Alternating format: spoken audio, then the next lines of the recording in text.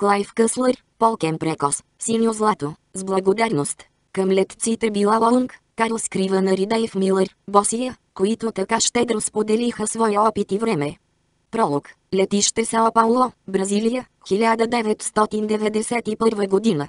С мощен тласък от двете си турбини, елегантният корпус на частен реактивен самолет се отдели от пистата и стръмно пое към небесните висини над Сао Пауло.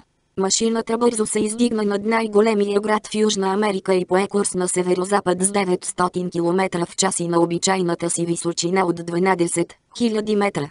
В задната част на пътническата кабина, разположена удобно в кресло, с гръб към посоката на движението, професор Франсешка Кабрал гледаше замислено през иллюминатора памучната пелена отвън и вече тъгуваше по мъгливите и препълнени с енергия улици народния си град. В мислите й се намеси приглушено хъркане, долитащо през тясната пътека по средата на кабината. Тя погледна към заспалия в омачкания си костюм мъж на средна възраст и с поклащане на глава се зачуди, какво точно е имал предвид баща й, когато е избирал за нейн бодигард именно Филипо Родрикеш. Измъкна папка от чантата си и започна да нахвърля бележки по полетата на листовете с обращението, което възнамеряваше да произнесе към участниците в Международния природозащитен форум в Кайро. Вече десетки пъти бе преглеждала изказването си, но задълбочеността бе нейна характерна черта. Франсешка беше блестящ инженер и високо уважаван преподавател, но в едно общество и професионална област, доминирани от мъже, от една жена учен се очакваше да бъде повече от съвършена. Буквите се мержелееха пред погледа й. Предната вечер бе стояла до късно, подреждайки научните документи и приготвяйки багажа си. Възбудата не й бе позволила да заспи. Сега погледна завистливо към хъркащия си охранител и реши да дремне и тя. Остави на страна изказването, наведе облегалката на дебело тапицираното кресло и затвори очи. В унеса на гърления шепот от турбините, тя скоро задряма. В съня си се видя в море, чието огромни, меки телази нежно я издигаха и спускаха, като някаква медуза. Беше много приятно усещане, докато една вълна рязко я издигна и после я захвърли надолу, като в откъснат асансьор. Клепачите й рязко се повдигнаха и тя се огледа. Изпитваше странно усещане, сякаш някаква ръка я бе сграбчила за сърцето. Всичко като че ли беше наред. От стереоредбата се носеха омайните звуци на самба с една нота, в изпълнение на Антонио Карлос Жобим. Филип още беше в света на сънищата. Но усещането за нещо нередно не си отиваше. Тя се пресегна през пътеката и разтърси спящия за рамото. Филипо, събудете се, Ръката на бодигарда се стрелна към кобура под сакото и той се събуди като войник. Като видя Франсешка, чертите му се отпуснаха. Сен хора звезда, съжалявам, прозя се той, заспал съм. Звезда Сен хора порт. Госпожо. Аз също. Франсешка помълча, сякаш се ослушваше и допълни. Нещо не е съвсем наред. Какво имате предвид? Не знам, нервно се засмя тя в отговор. Филипо се усмихна като мъж, чиято съпруга е чула крътци, нахлули нощем в къщата и я потупа по ръката. Ще ида да проверя. Стана и се протегна, после отиде до вратата на пилотската кабина и почука. Вратата се отвори и той надникна вътре. Франсешка дочу неясни звуци от разговор и смях. Филипо се върна широко засмян. Пилотите казват, че всичко е наред, сен хора. Франсешка му благодари, облегна се в креслото и пое дълбоко дъх. Страховете й бяха глупави. Явно перспективата да се освободи от психическото напрежение на работата, отнела всичките й сили през последните две години, опъваше нервите й. Този труд я бе изчерпал цяла, изсмукал бе всеки нейн час, денем и нощем, съсипал бе личния й живот. Погледът ти се спря на дивана, поставен напряко на кабината в задната част и едва устоя на желанието да провери, дали металното и куфърче е на мястото си зад меките възглавници. Тя си го представяше като антипод на котията на Пандора звезда, вместо зло, изобилие от добро ще се изсипе от него, когато го отвори. Откритието и щеше да донесе здраве и просперитет за милиони хора и планетата Земя вече никога нямаше да бъде каквато беше досега. Звезда Пандора град Мит Първата смъртна жена, изпратена на Земята от Зевс, като наказание за откраднатия от Прометей огън. Тя отворила дадената и от него котия и пуснала сред хората всички възможни злини и нещастия. Филипой донесе бутилка студен портокалов сок. Тя му благодари с мисълта, че за краткото време на познанството им, бодигардът е започнал да й допада. С омачкания си, кафяв костюм, оплешивяваща прошарена коса, тънки мустачки и кръгли очила, той можеше да мине за разсеян кабинетен учен. Франсешка не можеше да знае, че този притеснен и ненабиващ се в очи външен вид е резултат от дългогодишни целенасочени усилия.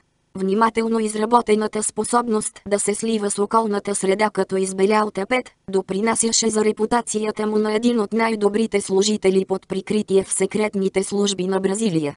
Родрикеш бе подбран лично от баща й. Първоначално Франсешка се бе възпротивила на настояването му да я придружи бодигард. Смяташе, че е вече голяма. Когато разбра, че загрижеността му е истинска, тя се подчини, макар да подозираше, че той се страхува повече от добре изглеждащите ловци на чуждо богатство, отколкото за личната и безопасност. Франсешка бе привлекателен обект, дори и без семейното богатство. В една страна с преобладаващ мургавтен и черна коса сред населението, тя ярко се открояваше. Синьо-черните очи с форма на бадеми, дългите мигли и почти идеалната форма на устата бяха наследство от дядото японец. Германската баба й бе оставила кестенява коса, висок ръст и тефтонска упоритост в деликатно скулптираната долна челюст. Отдавна бе открила, че стройната й фигура по някакъв начин е плод на обстоятелството, че живее в Бразилия. Телата на бразилките сякаш са специално изваяни за изпълнение на националния танц самба. Франсешка бе довършила работата на природата, сцената на стотици часове в гимнастическия салон, където ходеше, за да се освободи от напрежението на научната си работа. Когато имперската слава на Япония рухва под сянката на двете атомни гъби, дядото е дребен дипломат. Той си остава в Бразилия, оженва се за дъщерята на посланика на Третия райх, който също е останал без работа, придобива бразилско гражданство и се връща към първата си житейска любов – паркостроителството. Премества семейството си в Сао Пауло, където неговата фирма започва да обслужва богатите и властимащите. Установява тесни връзки с средите на влиятелни военни и правителствени дейци. Неговият син, бащата на Франсешка, използва тези връзки, за да се издигне, без особени усилия, до ключов пост в Министерството на търговията. Майката изоставя инженерното си образование, в което е постигнала впечатляващи успехи, за да се превърне в домакиня и майка. Никога не съжалява за тази своя стъпка, поне пред хората, но не крие задоволството си от решението на дъщеря си да поеме по академичните изследи. Баща й предложи да използва личния му самолет до Нью Йорк, където трябваше да се види с служители на ООН, преди да вземе редовен полет за Кайро. Тя много се радваше на възможността да се върне в Штатите, макар и за съвсем кратко и сега и се щеше да накара някак си машината да полети по-бързо. Годините, прекарани като студентка по инженерни науки в университета Стенфърд в Калифорния, щяха завинаги да останат сред най-приятните изпомени. Погледна през иллюминатора и си даде сметка, че няма представа, къде се намират. Пилотите не бяха съобщавали местонахождението им, откакто излетяха. Отиде напред и надникна в тяхната кабина. Бондия, Сен Хорес звезда. Исках да разбера, къде сме и колко време ни остава до края на полета. Звезда Бондия, Сен Хорес Спорт. Добър ден, господа. Пилотът се казваше капитан Райордън, кокалест американец, с подстригана по военно сламено руса коса и тексаски изговор, Франсешка не го бе виждала до тогава, но в това нямаше нищо изненадващо. Нито пък в обстоятелството, че Райордън беше чужденец. Макар че самолетът беше частен, той се поддържаше от местна авиокомпания, която осигуряваше и пилотите. Бован изда и аз, отвърна пилотът си скривена усмивка и провлачено подобие на португалски, което нарани слуха й. Съжалявам, че не ви държах в течение, мис. Видях, че спите и не исках да ви безпокоя. Намигна към втория пилот, масивен бразилец, чиято мускулеста фигура бе доказателство за съвестната му работа с штангите. Пилотът се усмихна, докато оглеждаше фигурата на Франсешка. Тя се почувства като майка, заловила немирните си деца, когато се готвят да извършат някаква лудория. Каква ни е програмата за полета? Попита делово тя. Ами, в момента сме над Венецуела. Трябва да стигнем Майами след около 3 часа. Докато ни заредят, ще си поизпънем краката и след още 3 часа сме в Нью Йорк. Тренираният инженерски поглед на Франсешка се спря на контролните прибори. Вторият пилот забеляза интереса и не можа да устои на желанието да се покаже пред хубава жена. Тоя самолет е така съвършен, че може и сам да лети, докато ние си гледаме матч по телевизията, заяви той, като показа огромни зъби. Не позволявайте на Карлуш да ви мъти главата. Обади се командират. Това просто е ЕЛПС, електронна летателно-приборна система. Тези екрани заместват някогашните контролни прибори. Благодаря, каза любезно Франсешка и посочи един екран. А това компас ли е? Да, да, отвърна копилотът, доволен от преподавателските си способности. А защо показва курс почти север? Смръщено попита тя. Не трябва ли да следваме малко по-западен курс, за да стигнем Майами? Мъжете се спогледаха. Доста сте наблюдателна, сен хора, каза тексасецът. Напълно сте права. Но във въздуха правата линия не всеки път е най-бързият начин да се стигне от една точка до друга. Това е така, поради кривината на земния контур. Например, най-бързият път от Америка за Европа води от начало нагоре и описва огромна дъга. Освен това, трябва да се съобразяваме и с въздушното пространство на кубинците. Не искаме да дразним добрия стар Фидел. Ново смигване и усмивчица. Франсешка кимна. Благодаря за отделеното време, господа. Лекцията беше изчерпателна. Сега ви оставям да си вършите работата. За нищо, мадам. Винаги сте добре дошла. Франсешка се върна побесняла на мястото си. Глупаци, да не я мислят за идиот. Кривината на земния контур, как не? Нали ви казах, всичко е наред, вдигна поглед от списанието си Филипо. Тя се наведе през пътеката към него и отвърна стих, равен глас. Не, не е наред. Мисля, че машината не следва курса. И тя му каза за компаса. В съня си усетих нещо странно. Мисля, че е било, когато са променили посоката. Да не грешите. Възможно е, но не мисля. Поискахте ли им обяснение? Да.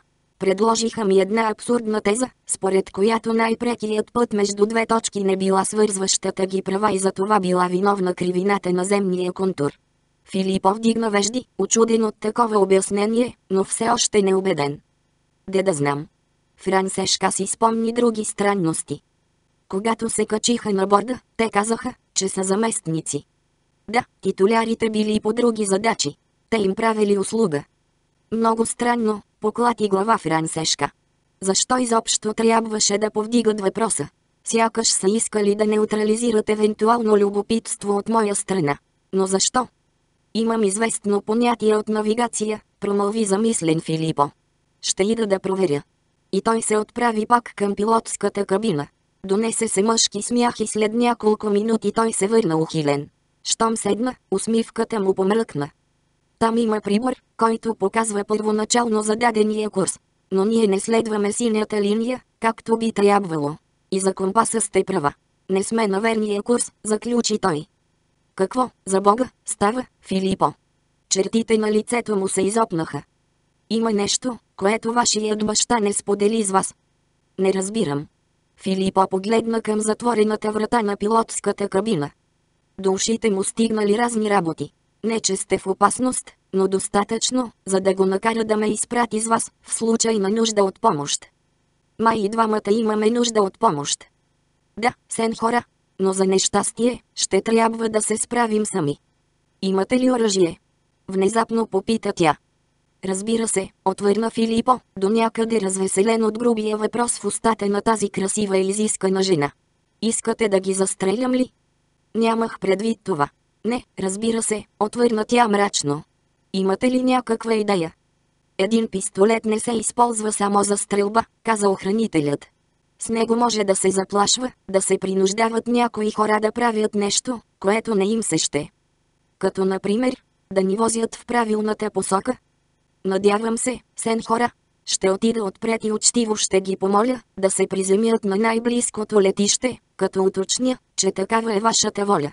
Ако откажат, ще им покажа оръжието и ще ги уведомя, че не бих желал да го използвам.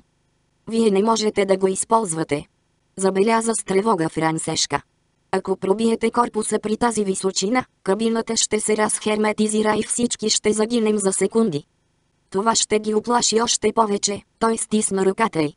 Обещах на баща ви, че ще се грижа за вас. Тя разтърси глава, сякаш за да пропъди неприятностите. Ами, ако греша? Ако те просто си вършат работата? Много просто, свираме не Филипо. Ще предупредим по радиото. Ще кацнем на най-близкото летище, ще извикаме полиция и ще изясним всичко. После, продължаваме. Разговорът им беше прекъснат внезапно. Вратата на пилотската кабина се отвори и капитанът влезе при тях. Той го направи внимателно, принуден да наведе глава под ниския прак на вратата. Някакви шедички ли си правите? Попита той с кривата си усмивка. Знаете ли още? Моля, Сенхор. Отвърна Филипо. Е, аз имам една за вас двамата, заяви пилотът. Тежкият поглед под отпуснати клепачи придаваше на Райордан сънлив вид. Но в начина, по който посегна зад гърба си и измъкна затъкнатия зад кола на пистолет, нямаше нищо тромаво. Дай го тук. Протегна той ръка към Филипо, и много бавно. Гардът внимателно разтвори широко сакото, за да се види добре под раменния кобур, после измъкна оръжието с крайчетата на пръстите си. Пилотът го затъкна в пояса си. Благодаря ти, ами и гол звезда, каза той. Винаги е удоволствие да се работи с професионалист. Той приседна на подлакътника на едно свободно кресло и си запали цигара с свободната ръка. Приказвахме си с партньора и си викаме, че може нещо да ни имате зъб. Викаме си, тия сигурно ни нямат доверие, като пристигна втория път, те по-добре да си изясним нещата, за да няма недоразумения. Звезда ми и го изп. И порт. Приятел. Капитан Райордън, какво точно става? Попита Франсешка. На къде ни карате? Казаха ни, че сте умна, отбеляза пилотът с усмивка. Партньорът ми не трябваше да се фука с самолета. Той изпусна две струйки дим през ноздрите си. Права сте. Не отиваме в Майами. Насочили сме се към Тринидад. Тринидад. Чувал съм, че е чудно местенце. Не разбирам. Ами, вижте какъв е случаят, сеньорита. На тамошното летище ви очаква комисия по посрещането. И не ме питайте кои са, защото не знам. Всичко, което знаме, че са ни наели, за да ви закараме до там. Очакваше се всичко да мине по мет и масло. Щяхме да ви съобщим, че има технически проблеми и трябва да кацнем извън планово. Какво е станало с нашите пилоти? Попита Филипо. Случи им се злополука, отвърна Райордан с свиване на рамене. После размаза фаса си на пода. Та, такива ми ти работи, мис. Стойте си кротко и всичко ще бъде наред. Що се отнася до вас, цавале и розвезда, съжалявам, задето ви създавам неприятности с шефовете. Бих могъл да ви завържа и двамата, но не ми се вярва да направите някаква глупост, освен ако искате да си карате самолета сами. Още нещо. Изправете се, приятелю, и се обърнете с гръб. Звезда Цавале и Ропорт. Благородни господине. Като помисли, че ще го обискират, Филипо безмълвно се извърна. Предупреждението на Франсешка закъсня. Цевта на пистолета описа сребрист полукръг и се стовари над дясното ухо на охранителя. Зловещият звук на удара бе заглушен от болезнения вик на пострадалия, който се сви на две и падна сгърчен на пода. Франсешка скочи от мястото си. Защо направихте това? Попита предизвикателно тя. Оръжието му е у вас. Нищо не можеше да ви стори. Съжалявам, мис. Аз твърдо вярвам в двойната осигуровка. Райордън прекрачи проснатото на пътеката тяло, като да бе чувал с картофи. Нищо не предпазва така ефикасно човек от глупости, както една пукната глава. Там виси аптечка за първа помощ. Докато го оправите, ще стане време за кацане. Той докосна с пръсти фуражката си и потъна в пилотската кабина, като затвори вратата след себе си. Франсешка коленичи до пострадалия бодигард. Натопи салфетки в минерална вода и почисти раната. После я натисна, докато спря да кърви и дезинфекцира цялото пострадало място. Огъна в друга салфетка няколко бучки лети ги допря до главата, за да предотврати подуване. Докато седеше така край пострадалия, Франсешка се мъчеше да разбере, за какво става дума. Изключваше отвличане за пари. Единствена причина за някого да си даде чак такъв труд, би могла да е научната и разработка. Който и да беше той, явно се стремеше към нещо повече от скиците и писмените материали, свързани с нея. Биха могли да ограбят кабинета или да отмъкнат багажа от летището. Но им трябваше самата тя, за да разшифрова резултатите от своя труд. Той беше толкова специфичен, толкова изключителен по своя характер, че не се вместваше в обичайните научни рамки. Затова и никой до сега не бе стигал до подобни идеи. Но в цялата работа нямаше и грам разум. Само след броени дни тя щеше да подари своя труд на света, без да иска нещо в замяна. Никакви патенти, никакви авторски права, никакви хонорари. Напълно безплатно. В гърдите й се надигна ярост. Тези безскрупулни типове не й позволяваха да направи живота на милиони хора по-добър. Филип опростена. Идваше на себе си. Очите му се отвориха и погледът му започна да се фокусира. Добре ли сте? Попита го тя. Зверски боли, така че, изглежда съм жив. Бихте ли ми помогнала да се изправя? Франсешка го обгърна с ръка и го надигна, докато той седна с опрян в креслото гръб. Отвори бутилка ром от барчето и я поднесе към устните му. Той отпи малко, изчака да се отеложи и глътна по-сериозно. Направи нова пауза, за да се увери, че стомахът му няма да се качи в устата, и след като не повърна се усмихна. Ще се оправя. Благодаря ви. Тя му подаде очилата. Опасявам се, че ги е щупил, когато ви удари. Той ги хвърли настрани. Виждам си много добре и без тях, без диоптриса. Втренченият поглед, който срещнаха очите на Франсешка, не беше на оплашен човек. Той се обърна към пилотската врата. Колко време съм бил в безсъзнание? Може би, около 20 минути. Добре, има още време. Време, за какво? Ръката му се плъзна поглезена и се появи отново, снабдена с късоце в револвер. Ако нашият приятел не бързаше толкова да ми причини главоболие, щеше да открие това, каза Филипо с невесела усмивка. Той определено нямаше нищо общо с измачкания човечец, който приличаше повече на откачен професор, отколкото на бодигард. Но чувството за реалност я отрезви. Какво можете да направите? Те разполагат с поне два пистолета, а и ние не можем да се оправим с самолета. Простете ме, Сен Хора Кабрал. Още един пропуск от моя страна да ви информирам напълно, отвърна почти виновно Филипо и продължи. Забравих да спомена, че преди да вляза в специалните служби, работех за военно-въздушните сили. Помогнете ми, моля, да се изправя. Франсешка онемя. Какви още фокуси криеше в ръкава си този човек? Подкрепи го, докато се изправяше на разтрепераните си крака. След минута в тялото му нахлу нова сила, разумът му се изпълни с решителност. Останете тук, докато ви кажа какво да правите, нареди той са пломба на човек, свикнал командите му да бъдат изпълнявани. Отиде отпред и отвори вратата. Пилотът погледна през рамо и каза. Я виж, кой дошъл от пространството между живота и смъртта. Май не съм го праснал достатъчно силно. Няма да имаш друга възможност, отбеляза Филипо. Той притисна дулото на револвера за духото на тексасеца достатъчно силно, за да почувства болка. Ако застрелям единия от вас, другият пак ще може да кара самолета. Кой да бъде? За Бога. Нали каза, че си му взел пистолета? Изкрещя Карлуш. Къса ти е паметта, Цавалейро, намеси се спокойно пилотът. Кой ще ти кара машината, ако ни убиеш? Аз, Цавалейро. Съжалявам, че не си нося пилотската диплома.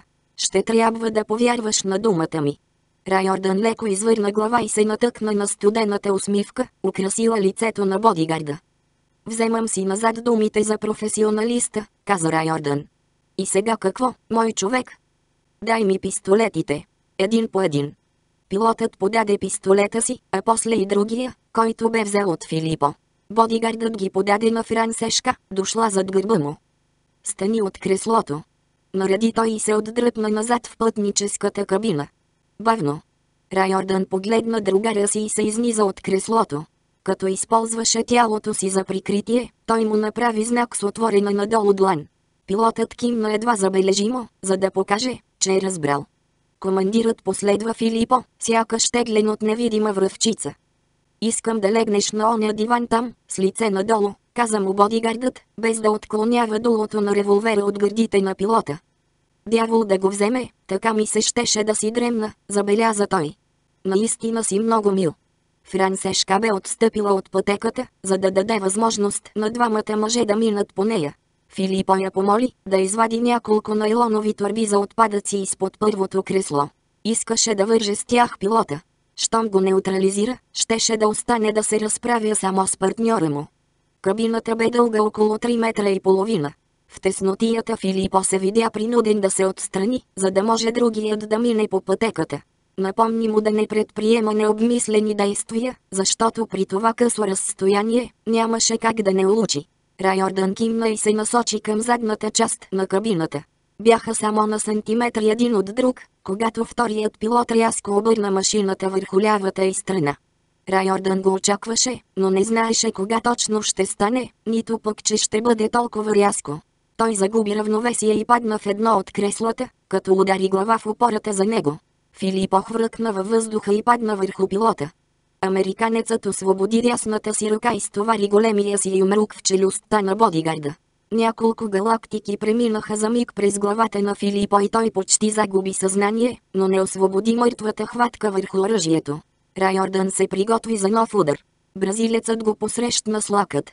И двамата мъже имаха богат опит в улични сбивания. Филипо заби пръсти в очите на американеца, а он я захапа дланта му. Бодигардът удари с коляно в слабините и когато Райордън отвори уста, му нанесе удар с глава в носа. Хрущялът се счупи. Още малко и щеше да надделее, но в този миг самолетът легна върху другата си страна. Биещите се хвъркнаха върху кресло на противоположната страна. Сега американецът беше отгоре. Филипо се опита да му нанесе удар с револвера, но пилотът хвана китката му с две ръце и започна да я извива назад и надолу. Филипо беше силен, но не можеше да устои с една ръка срещу напъна на две. Долото все повече се навеждаше към тялото му. Сега Райордън бе хванал оръжието и го натискаше надолу. Филипо се бореше мъжки и почти си бе върнал контрола над револвера, но дръжката му стана хлъзгава от кръвта, строяща от носа на американеца. Той успя да насочи оръжието към противника си, докопа спусъка и го натисна. Чу се приглушен звук. Тялото на Филипо се сгърчи, а после се отпусна с проникналия в гърдите куршум. Машината зае нормалното си положение. Райордън се изправи и тръгна обратно към пилотската кабина. Спря и се обърна, явно усетил, че нещо не е както трябва. Захвърленият револвер беше върху гърдите на бразилеца, който се мъчеше да го насочи за изстрел. Райордън се хвърли като ранен носорог. Оръжието гракна. Първият куршум удари нападателя в рамото и той продължи напред. Мозъкът на Филипо загиваше, но спусъкът бе натиснат още два пъти. Вторият изстрел улучи сърцето на американеца и го уби на мига. Третият прелетя покрай него. Докато пилотът се свличаше на пода, ръката на бодигарда вече бе изпуснала оръжието. Борбата в едната и другата половина на самолета отне само няколко секунди. Франсешка бе хвърлена между седалките и се преструваше на бездиханна, докато окървавеният пилот се насочваше към кабината. Изстрелите я накараха да се притисне по-силно към пода. Сега внимателно проточи шия към пътеката и видя мъртвото тяло на пилота. Тя припълзя до трупа на Филипо, сграбчи револвера и тръгна към пилотската кабина, забравила от бяс страха си. Шокът премина за миг бяс. Вторият пилот беше наведен напред. Не падаше, задържан от предпазните колани. В преградата между пилотската и пътническата кабини заеше дупка. Дупка имаше и в облегалката на втория пилот. Последният изстрел на Филипо. Франсешка изправи бразилеца. Стенанието му и съобщи, че е още жив. Можеш ли да говориш? Попита го тя. Карлош обърна очи и изхриптя. Да. Добре. Прострелен си, но мисля, че нямаш засегнат важен орган, излъга тя. Сега ще спра кръвта. Донесе аптечката с мисълта, че всъщност и трябва шокова зала в отделение за бърза помощ. Почти припадна, като видя лаквата кръв, образувана от стичащата се кръв по гърба на мъжа. Притиснатият към раната компрес потъмня на часа, но може и да бе забавил загубата на кръв. Невъзможно бе да се прецени. Единственото нещо, което знаеше с положителност, беше, че човекът умираше. Осъзнала ужасяващата истина, тя погледна към светещите контролни табла, парализирана от мисълта, че този умиращ човек държи ключа към нейния живот. Трябваше да го закрепи. Франсешка отиде за бутилката ром и допря и до устните на мъжа. Повечето течност се разля по бузите му, а малкото количество в гърлото го задави. Той се закашля и поиска още. Алкохолът върна цвета на лицето му и скрицата живот в изцъклените му очи. Тя долепи устни до ухото му. Трябва да летиш, произнесе с равен глас. Друг шанс нямаме. Близостта на красивата жена сякаш му даде сили. Погледът му беше стъклен, но напрегнат. Кимна и посегна към бутона на радиото, което го свързваше директно с контрола на полетите в Рио. Франсешка се отпусна в пилотското кресло и нахлузи слушалките. Чу шумовете от кулата. Карлош я помоли с поглед за помощ. Франсешка заговори, като обрисува положението им на дежурния. Какво да правим? Попита го тя. След мъчителна пауза, гласът каза. Веднага се насочете към Каракас. Каракас е много далече, изграчи Карлуш, мобилизирал всички сили. Нещо по-близо. Проточиха се още няколко мига. Гласът на диспетчера се чу отново. Има малка провинциална писта на 330 км от вас, по посока на Каракас. Сан Педро. Не разполагат с техника за автоматично насочване, но времето е отлично за кацане. Ще се справите ли? Да, отговори Франсешка. Пилотът се замъчи с клавиатурата на бордовия компютър. Напрегнал всички сили, набра сателитните координати на Сан Педро и ги въведе. Поведен от компютъра, самолетът започна да завива. Карлош се усмихна едва-едва. Нали ви казах, че тая машина лети сама, сен хора? Свистящите му думи прозвучаха и някак замаяно. Изглежда, загубата на кръв си казваше думата. Въпрос на време беше да загуби съзнание. Не ме интересува как лети, отвърна остро тя. Важното е, да ни свали долу. Карлош кимна и включи програмата за автоматично снижаване до 600 метра. Самолетът започна да се спуска през облаците и не след дълго се видяха зелени петна. Видът на твърда почва едновременно зарадва Франсешка и я оплаши. Страхът ти се засили, като видя Карлош да потреперва, сякаш го удари ток. Сграбчи ръката и я стисна в мъртвешка хватка. Няма да устискам до Сан Педро, каза той с влажно гъргорене. Трябва да го направиш. Отвърна му тя. Няма да стане. Дяволите да те вземат, Карлош, ти и твоят човек ни докарахте тая беля и ти ще ни извадиш от нея? Той се усмихна вяло. Какво ще сторите, сен хора, ще ме застреляте ли? Очите й пламнаха. Ще съжаляваш, че не съм го направила, ако не приземиш това нещо. Принудително кацане, поклати глава Карлош. Само това ни остава. Намерете място. Панорамното стъкло отпред разкриваше прекрасна гледка към гъстата, тропическа гора отдолу. Франсешка имаше усещането, че летят над огромно поле броколи. Отново разгледа безкрайната зеленина. Безнадеждно. Стой! Слънчевите лъчи се отразяваха от нещо лъскаво. Това какво е? Посочи тя. Карлош изключи автопилота и пое управлението. Насочи машината към блестящата повърхност, която се оказа гигантски водопад. Появи се и тясна, криволичеща река. По край нея личаха безформени пространства жълти и кафеникави тръви. Сам той почти на автопилот, Карлош се насочи към откритото пространство с 30 градусов десен завой. Изтегли елероните звезда на крилета и с остър наклон надясно, приготви машината за окончателния и курс. Намираха се на 550 метра височина и започваха спускане по дълга права. Карлош изтегли елероните още, за да намали скоростта. Звезда елерон, подвижна плоскост на криле на самолет или при бързоходни лодки, която променя площта и наклона си. Използва се при излитане или кацане, както и за промяна на височината. Много ниско. Изръмжа той. Върховете на дърветата се бяха втурнали насреща им. Сродена от отчаянието свръхчовешка сила, той натисна лоста на гъста и даде допълнителна мощност на двигателите. Машината започна бавно да се издига. В замъгления му взор се появи мястото за приземяване. Беше ужасяващо, тясно и неравно, голямо колкото почтенска марка. Скоростта им беше малко над 250 км в час. Прекалено висока. От гърлото на Карлуш се донесе мокър хрип. Главата му се килна върху рамото. От устата му бликна кръв. Пръстите се бяха впили в безсмислена мъртвешка хватка в контролните лостове.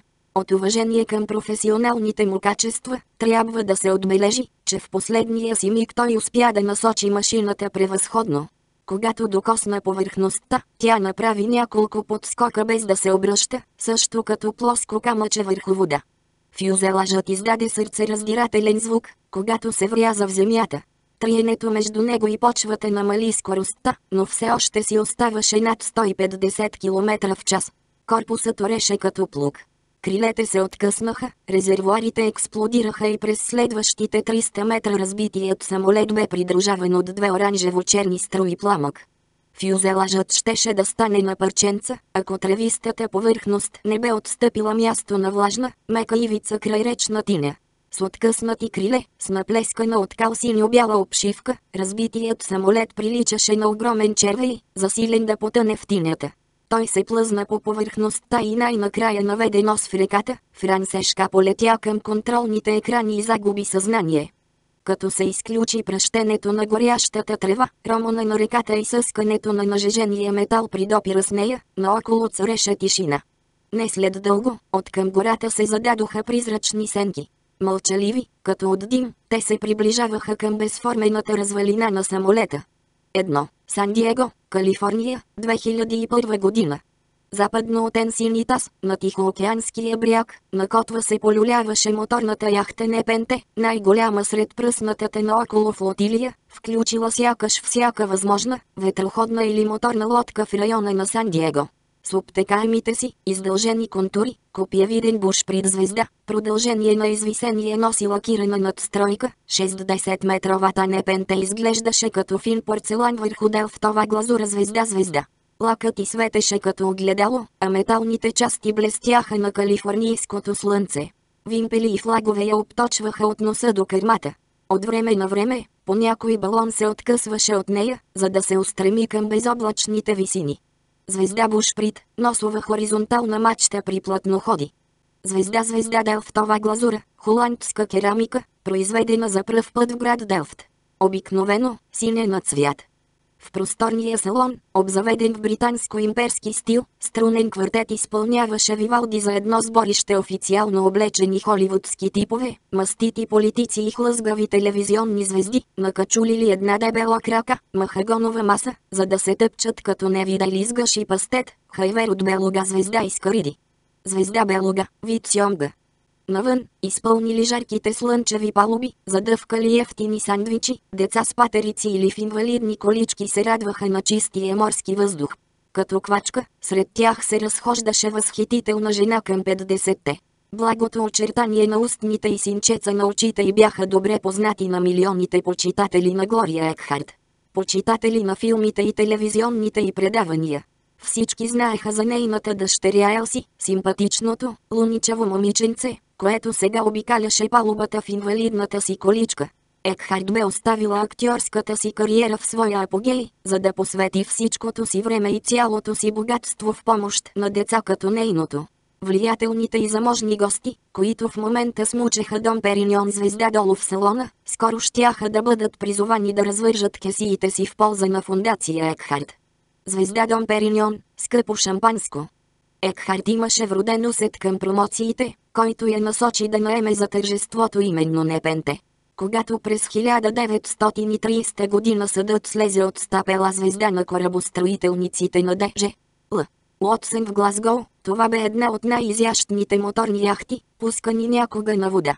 Първият и собственик, английски аристократ, я загубил след нощно покерно сражение срещу холивудски магнат, прочут с слабостта си към карти, маратонски гощавки и непълнолетни старлетки звезда-звезда.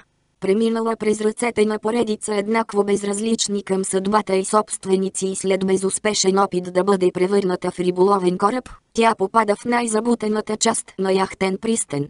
Там, разпадаща се в рибешка смрад, я открива друг магнат, тоя път от Силиконовата долина звезда звезда звезда, който, след като вложил във възстановяването и милиони, решава да си ги върне, като я дава под найем за случай, като благотворителния излет на Екхард. Звезда Стапел, бетонна площадка в корабостроителница, с наклон към водата, от която се спускат новопостроените кораби. Звезда Звезда Старлет Кианго Млади момичета, изпълнени от желание да станат кинозвезди, които в най-добрия случай се домогват до второстепенна роля. Постоянно присъствие в социалния живот на Холивуд. Звезда, звезда, звезда Силиконова долина, район недалеч от Сан-Франциско, в който са събрани огромен брой производители на компютъри и части за тях, както и производители на компютърни програми. Един мъж в син блейзър и с официален знак на морско състезание върху нагръдния си джоб, бе вперил поглед през бинокъла към зеления, океански безкрай. Той разтърка очи и отново ги присви в окулярите. В далечината, тънички бели перца се издигаха към синьото небе там, където то се срещаше с водата. Той свали бинокъла и взе аерозола в контейнер с прикрепен към него рок. Натисна три пъти бутона му. Тръбният трев на клаксона проеча над водната повърхност, като сватбен зов на някакъв гигантски гъсок. Флотилията поде сигнала. Какофония от свирки, камбани, сирени и рогове изпълни пространството и удави крясъците на гладните чайки. Стотици запачи хукнаха с камери и бинокли в ръце. Лодките опасно се наклониха, с всички пътници, струпани на единия им борт. На непенте гостите налапаха последен залък и се изсипаха от салона навън с пенливи чаши в ръце. Засенчили очи, те се вторачиха в далечината, където перцата започваха да се превръщат в опашки на бантамски петли. Ветрецът донасяше жужене, като от ято разерени пчели. В един хеликоптер, виснал на около 350 метра над яхтата, як оператор, италианец на име Карло Поцци потупа пилота по рамото и му посочи на северозапад. Там водната повърхност бе белязана от бели ивици, които настъпваха, сякаш дълбани от невидима, гигантска брана. Поцци провери осигурителните си колани, стъпи с единия крак върху рамата на хеликоптера и закрепи на рамото си 25 кг телевизионна камера. Нагласил с привични движения тялото си в блъскащата го въздушна струя, той насочи необикновената увеличителна мощ на оптиката си към приближаващите линии. Движеше обектива отляво надясно, показвайки на зрителите по цял свят панорама на десетината състезателни лодки, цепещи морската повърхност. После се съсредоточи върху водещите две, откъснали се на около 500 метра от останалите. Устремените съдове прелитаха над гребените на вълните. 12-метровите им корпуси глисираха свирнати носове, сякаш се мъчеха да преодолеят земното притегляне. Водещата лодка беше боядисана в сигнално червено. Следващата я, на по-малко от 100 метра, блещукаше като къс самородно злато. Лодките напомняха по-скоро машини от звездни войни, отколкото плавателни съдове. Палубите им свързваха двете остри като ножове катамаранови тела, наричани спонсони, с аеродинамични криле над машинните отделения. Два кокпита звезда, като на изтребителя в 16, бяха разположени успоредно, на около две трети от разстоянието, след острите носове на лодките. Звезда кокпит, кабина за управление.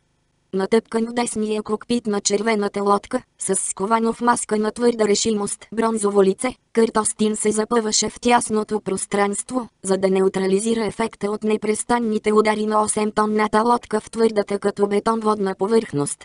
За разлика от сухопътните превозни средства, лодката не разполагаше с ресьори и амортисьори, които да омекотяват ударите.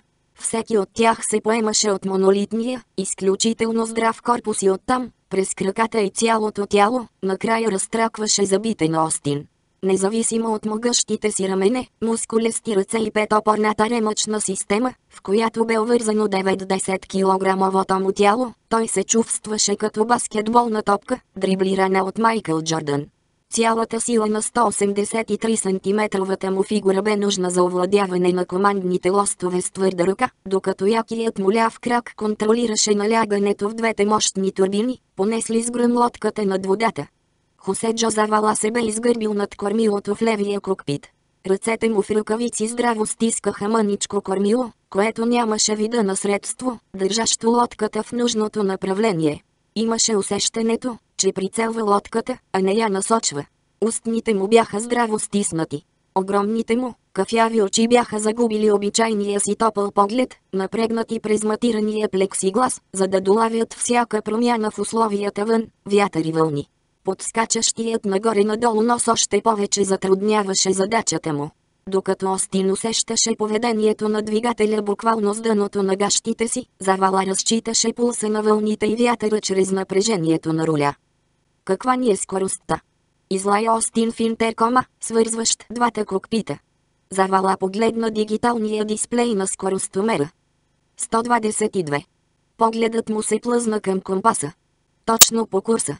Остин погледна часовника си и картата, прикрепена към лявото бедро.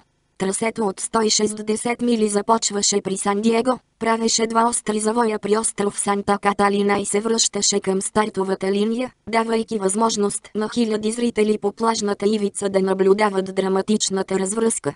Последният завой трябваше да се направи всеки момент.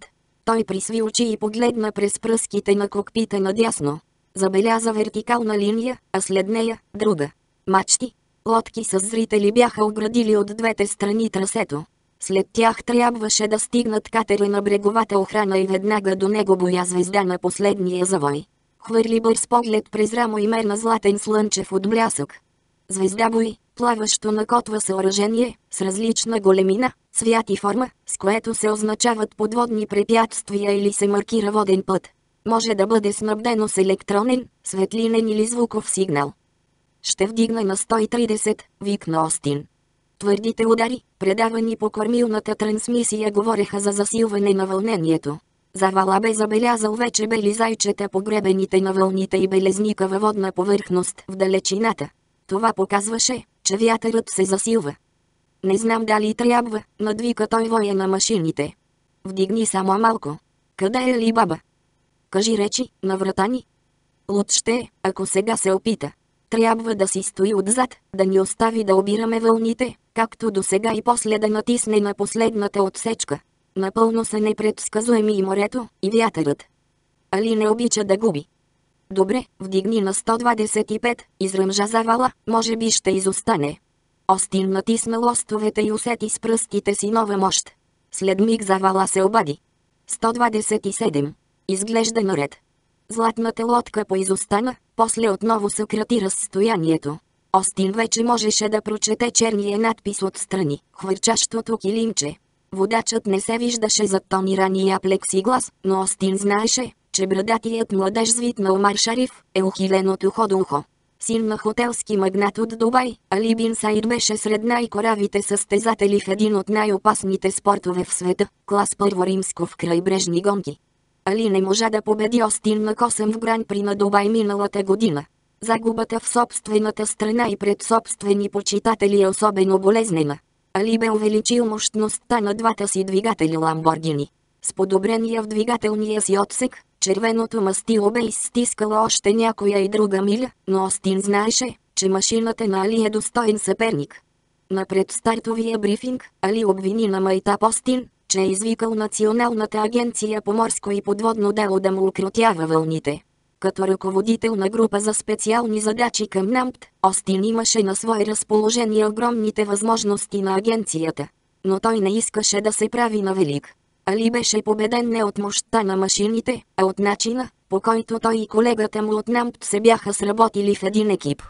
Завала, смургавия си тен и гладко вчесана назад права, гъста и черна коса, можеше лесно да мине за управител на някой богаташки хотел в Акапулко. Вечната му лека усмивчица прикриваше стоманена решителност, изкована в студентските му години на професионалния ринг в средна категория, както и в процеса на справяне с постоянните предизвикателства на работата му в НАМТ. Общителният и дружелюбен морски инженер имаше зад гърба си хиляди летателни часа като пилот на хеликоптери, малки реактивни и турбовитлови самолети и лесно можеше да се прехвърли в кокпита на състезателна лодка. Действащи с Остин като зъбни колела на прецизна машина, те поеха начало на групата още от зеленото флагче на старта. Глисираха под почти идеален ъгъл и пресякоха стартовата линия с 130 мили в час. Всички участници се домогваха до финала с пълна газ. Двама пренавити състезатели издухаха двигателите си още в първата отсечка, един се преобърна при първия завой, това е може би най-опасната точка при всяко състезание, а останалите бяха просто надбягани от двамата лидери. Червено мастило отминаваше другите, като да бяха мухи, залепнали на мухоловка. Само хвърчащото килимче поддържаше същата скорост. При първия завой при Каталина, завала мина близо до боя и принуди килимчето да загуби време в широка дъга. От тогава до сега, втората лодка ги преследваше по петите. В момента килимчето се изравняваше с тях. Остин знаеше, че в последния момент Али бе сменил пропелерите си с по-малки, подходящи за по-неспокойно море. Искаше му се и той да бе направил същото. Али бе постъпил умно, доверил се бе на усета си, а не на прогнозата за времето. Ще дам още мъничко. Извика Остин. 140 сме в момента, изкрещя в отговор за вала. Вятърът се вдига. Ако не намалим, ще литнем като хвърчило. Остин знаеше какви рискове крие завиването при голяма скорост. Двата спонсона на катамарана глисираха по водната повърхност при почти пълно отсъствие на съпротивление от нейна страна. Конструкцията, която им даваше възможност да преминават над вълните с голяма скорост, можеше да позволи на вятъра да се завре под корпуса и да го повдигне като хвърчило или още по-лошо, да го обърне по гръб. Хвърчащото килимче продължаваше да настъпва. Пръстите на Остин потръпваха върху лостовете. Не обичаше да губи. Тая борбеност бе наследил от баща си, заедно с физиката на ръгбист и цвета на подводен корал в очите. Някой ден щеше да загине от тая работа. Но не сега. Отпусна малко гъста. Това може би им спаси живота. Бела върха, метър и 20 висока вълничка идваше косо от към десния им борт. Завала я забеляза, помоли се да ги отмине, но разбра, че няма да стане. Вълната захвана единия спонсон като скотешка лапа. Червено мастило бе завъртяна във въздуха. С светкавична реакция, завала обърна кормилото по посока на лодката, както постъпва опитен шофьор при поднасяне върху лед. Лодката се плесна във водата странично, наклони се така, че кокпитът потъна цял и след няколко залитания се изправи. Али намали скоростта, но като видя, че им няма нищо, изду двигателите и заряза всякаква предпазливост. Искаше да се откъсне колкото може повече преди финиша. Като пренебрегна съвета на своя ветеран механик, Хенк Смит, Али натисна лодката си до край. Гигантската опашка воден прах се издигна на стотици метри, а двата двигателя отцепиха от водата две широки, запенени бръзди и стотици други дълги вълнички. Съжалявам за това. Извика завала. Хвана ни вълна. Добре се отървахме. Давай да вземем второто място. Остин блъсна лостовете напред изди вой на двигателите, те се понесоха следали. Високо от позицията си над трасето, италианският оператор бе забелязал драматичното развитие на нещата. Хеликоптерът направи широк полукръг и увисна над флотилията зрители. Подци искаше панорамна картина на самотната първа лодка, устремена на фона на зрителите към боя, където щеше да завие за последен път и да поеме към финала при Сан Диего. Операторът погледна надолу и видя вълнички да очертават огромна, лъскава маса на повърхността. Светлинен ефект, не, там определено имаше нещо. Извика към пилота и му посочи надолу. Какво е това, подяволите? Попита той. Подсци насочи камерата натам и приближи образа с натискане копчето на вариото. Това е балена, каза той, като фокусира предмета. Говори английски, за бога. Ами, как му викате вие? Кит. А, може. Мигрират. Не се притеснявай, като чуе лодките и ще се потопи. Не, поклати глава Карло. Мисля, че е мъртъв. Не се движи.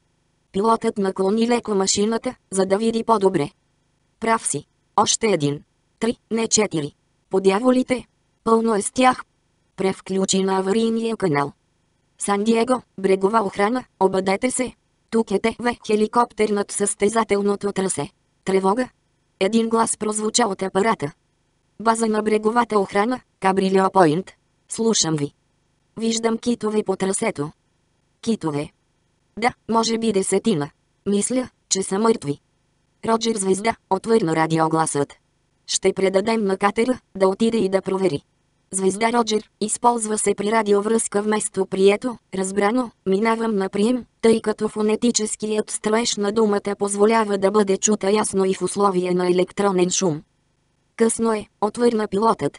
Трябва да спрете състезанието. Последва напрегната тишина и после. Роджер. Ще опитаме. След миг, алармиран от базата си, катерът потегли от своя пост при боя. Оранжеви сигнални ракети разцъфтяха на синьото небе. Али не забеляза нито ракетите, нито издутите, сивито ловища до момента, в който вече бе станало късно. Той избегна първия на сантиметри, отклони се и от втория, но от третия не успя. Направи широк завой и извика на Хенк да върне гъста. Пръстите на Смит смачкаха лостовете и глисиращият корпус потъна във водата, но продължи да се движи с 50 мили в час. И тогава удари кита. Изпуснал облак вонящ газ, трупът подскочи като огромен балон. Лодката продължи върху единия спонсон, обърна се, приметна се и по някакво чудо отново зае нормално положение. Али и съотборникът му не си счупиха главите, предпазиха ги шлемовете. Като в тъмна мъгла, Али се опита да овладее лодката, но системата не реагираше. Извика към механика си. Хенк лежеше върху дроселите звезда. Звезда дросел, клапан за регулиране пускането на вода, пара, газове. На непенте, капитанът беше слязал от мостика и разговаряше с Глория Екхарт на палубата, когато актрисата се надвеси над Релинга звезда и посочи нещо. Звезда Релингмор. Парапет.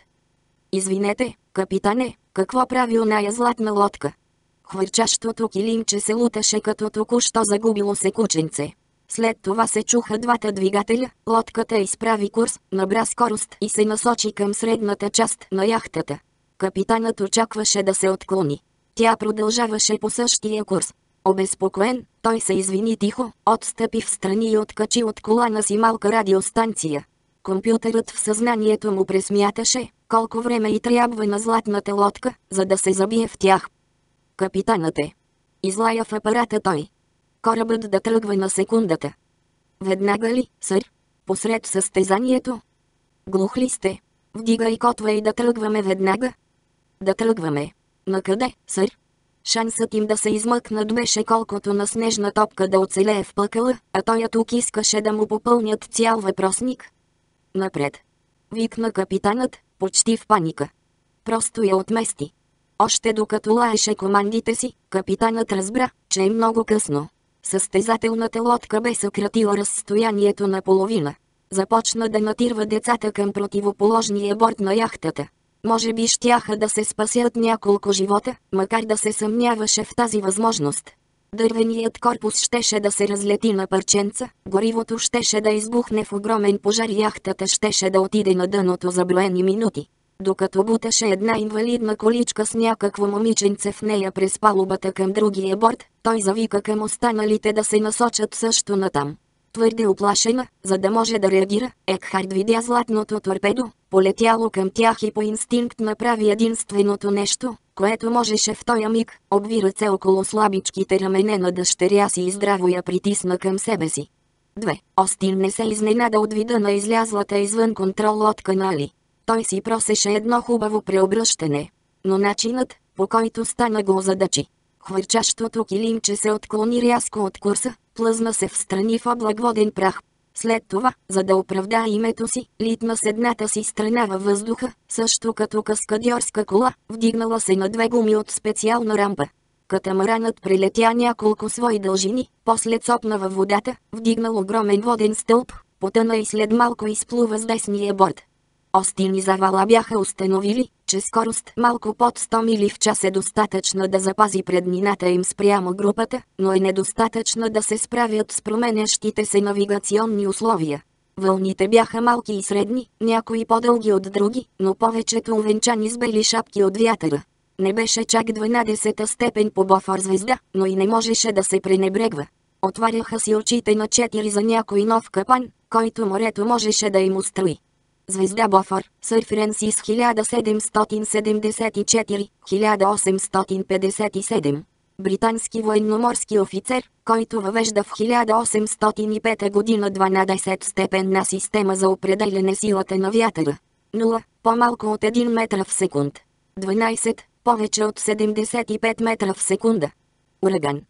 Завала описа широка дъга и насочи червено мастило към Али, за да проверят дали няма нужда от помощ. След като лодката бе прехвърлила голяма вълна, завала рязко зави, за да избегне някакъв сив предмет, по-дълъг от самата лодка. Тя остави следа като на гигантски слалом, между още три тъмно-сиви грамади.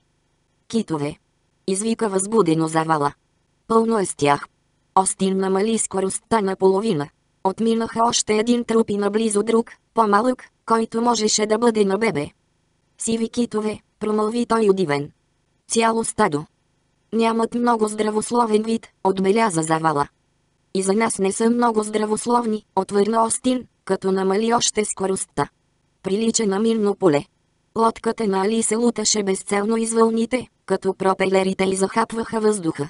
Изведнъж носовата част се надигна, кърмата легна, витлата лакомо захапаха водната маса и хвърчащото килимче се понесе като заек, внезапно вдигнат от гонче. Бързо набра скорост, започна да глисира и се насочи към флотилията зрители. Мъжко момче. Извика възхитен завала. Отърва се от кита, а сега отива да си получи овациите от публиката. Остин също прие, че ли прави жест към зрителите. Лодката му се носеше по водата, като златна стрела към окото на бик. Остин продължи с поглед траекторията на хвърчащото килимче, докато невидимата линия стигна точно средата на огромна, бяла яхта, закотвена по протежение на състезателното трасе. Грациозните й очертания подсказваха, че това е стар, луксозен кораб. Остин оцени по достоинство умението, с което проектантът бе съчетал в дървения корпус форма и функционалност. Отново насочи поглед към лодката на Али. Тя се движеше още по-бързо и без да се отклонява от курса си към яхтата. Защо не спират и не завиват? Остин знаеше, че корпусът на една състезателна лодка е по-здрав от стомана, но кормила и трансмисии са изложени на външно влияние. Ако кормилните плоскости са изкривени, то цялата система за насочване излиза от строя. Е, тогава, дори и да е блокирано кормилото, екипажът трябва просто да изключи двигателите. И ако механикът не може да го направи чрез дроселите, достатъчно е водачът да натисне бутона за аварийно прекъсване на тока към машините. Лодката бе блъснала кита подопирателна, но удар, въпреки това е бил чудовищен. Да не говорим за следващия, припадането във водата. Като припадане върху цимент. Дори и с шлемове и предпазни колани, хората биха могли да се наранят или още по-лошо, да загубят съзнание. Остин отново погледна яхтата и забеляза младежките лица по палубата. Господи! Деца! Тя беше пълна с деца. На палубата кипеше трескава дейност. Налитащата състезателна лодка бе забелязана. Котвата вече излизаше от водата, но яхтата имаше нужда от крила, за да избегне катастрофалния сблъсък. Ще се ударят. Извика Завала, по-скоро удивен, отколкото оплашен. Ръцете на Остин сякаш сами посегнаха към лостовете. Двигателите ревнаха и червено мастило се хвърли напред като ожилен от пчела състезателен кон. Това изненада завала, но той инстинктивно се вкопчи в кормилото и насочи лодката по посока на килимчето. Способността на двамата да отгатват интуитивно намеренията на другия, неведнъж им бе спасявала кожата при мисии на Намт. Остин натисна още. Катамаранът започна да глисира. Насочиха се подъгъл към следвания от килимчето курс, с скорост два пъти по-голяма от неговата. Щяха да са при него след броени секунди. Застани успоредно. Викна Остин. Когато ти кажа, ще го изблъскаш с штирборда звезда. Звезда штирборд-мор. Десен борд. Мозъчните клетки на Остин генерираха енергия, достатъчна за осветлението на един град. Червено мастило се изкачи по склона на една голяма вълна и цопна от другата и страна. Яхтата тръгна бавно напред. Това щеше да увеличи малко допуска им за грешка. Не много. Двете лодки бяха почти една до друга. Завала показа невероятните си умения на пилот, като скъси дистанцията, въпреки съпротивлението на двата килватера. Остин остави червено мастило да изпревари малко златната лодка, после върна плавно гъста, за да изравни скоростта на двата съда. Деляха ги метри. Остин се намираше в състоянието между разума и действието, чист рефлекс. Сетивата му бяха изострени до невъзможен предел. Грамотевичният шум от четирите мощни двигателя удавяше всеки опит за рационално мислене. Бе се превърнал в едно цяло с лодката, мускулите и жилите му служеха на корпуса й, също както бутела и предавки. Двете лодки не бяха в синхрон, когато едната бе нагребена на вълната, другата оставаше долу. Остин внимателно нагоди движението на червено мастило, докато заприличаха на два плуващи един до друг делфина. Горе. Долу. Горе. Долу. Давай. Викна той. Разстоянието между двете лодки намаля до сантиметри. Завала завъртя кормилото надясно. Беше много опасна маневра. Ако завиеше рязко, можеха да се ударят много силно и дори да излетят във въздуха, сплетени в смъртоносен танц. Разнесе се висок, кух звук от търкащите се един в друг корпуси, те се отъркаха и се разделиха. Завала отново долепи двете лодки и ги задържа заедно. Кормилото се мъчеше да се изтръгне от ръцете му. Остин на дугъста. Двигателите нададоха ураганен вой. Корпусите отново заскриптяха. Все едно, че се опитваха да вкарат в обора огромен бик. Най-накрая хвърчащото килимче загуби част от инерцията си и се отклони леко надясно. Те се отделиха от него още един път. Вече посвикнал, завала натисна пак. Другата лодка се отклони още надясно. Отдръпни вече, Джо. Машината на Али пое по курс, който минаваше зад кърмата на дървената яхта и сочеше към флотилията зрители. Лодките се пръснаха, като сухи листа пред вятър. Остин знаеше, че отклонената от курса си лодка на Али ще блъсне неговата под същия ъгъл, както става с топките на билярдна маса. Не можеше да прецени колко време ще им трябва, за да накарат другата лодка да се отклони.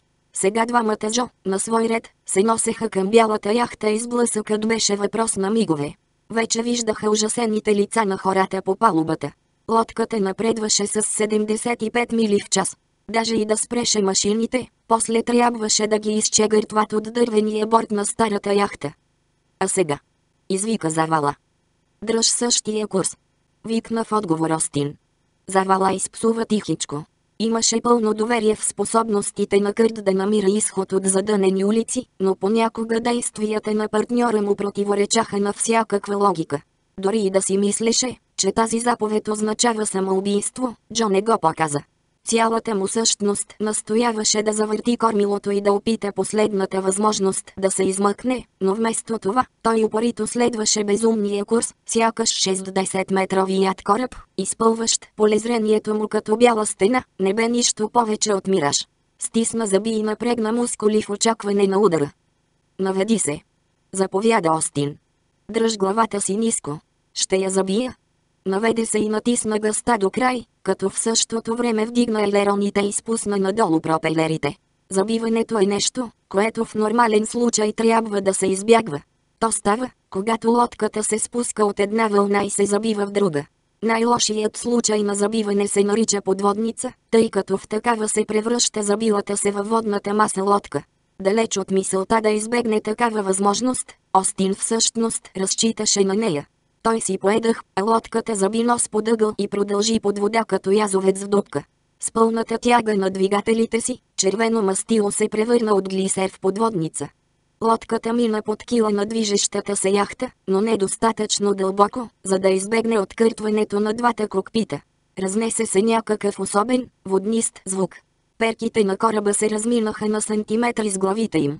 След това катамаранът изскочи от другата страна, като някаква много голяма и много червена, летяща риба. Той спря, а двете му машини се задавиха в облак червен дим. Лодката имаше вътрешен скелет, който би могъл да издържи нападение от стадо добре охранени слонове. Кокпитите бяха по-уязвими. И двете плекси гласови черупки бяха отпрани изцяло. В отвореното от тях пространство нахлуваше океанът. Завала изкашля малко вода и попита. Как си? Мургавото му, красиво лице имаше смутен израз. Остин смъкна шлема си, за да разкрие гъста коса с платинен, почти бял цвят. Разгледа следите от витлата на яхтата върху палубата и разбра, че са се отървали на косъм. Още се числя към живите, отговори той. Но не мисля, че червено мастило е замислена като кабрио. Време е да напуснем кораба, отбеляза завала, усетил водата около кръста си.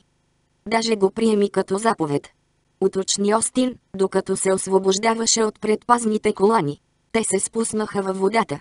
Подготвителната програма на състезателите включваше и действия в подобни случаи. Минути преди лодката им да отиде на дъното, една моторна яхта ги прибра, целите подгизнали. Какво стана с златната лодка? Попита Остин собственика, мъж на средна възраст, засмукал Лула, който бе излязъл от Сан Диего, за да погледа състезанието и бе видял повече, отколкото се бе надявал. Той посочи с лулата си в далечината. Ето я там.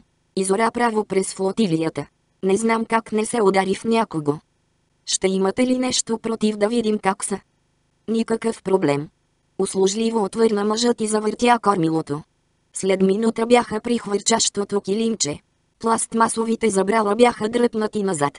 Остин видя с облегчение, че хората вътре са живи, макар че от главата на Али се стичаше кръв, а Хенк изглеждаше като налегнат от жесток махмурлук. Ранени ли сте? Провикна се Остин. Не, отвърна Али, макар и с не твърде уверен вид. Какво стана? Блъсна се в кит. В какво? Забелязал сериозното изражение на Остин, Али помръкна. Май не сме спечелили. Отбеляза той мрачно. Не съжалявай. Успокои го Остин. Поне лодката ти не лежи на дъното. Съжалявам, тъжно каза ли. След това нова мисъл озари лицето му, значи и ти не си спечелил. Олцон Трайре звезда, отвърна Остин. И четиримата спечелихме при за най-щастлив сред живите. Звезда Олцон Трайре Фехре. Напротив. Али кимна утвърдително. Слава на Аллаха! Промълви той, преди да загуби съзнание.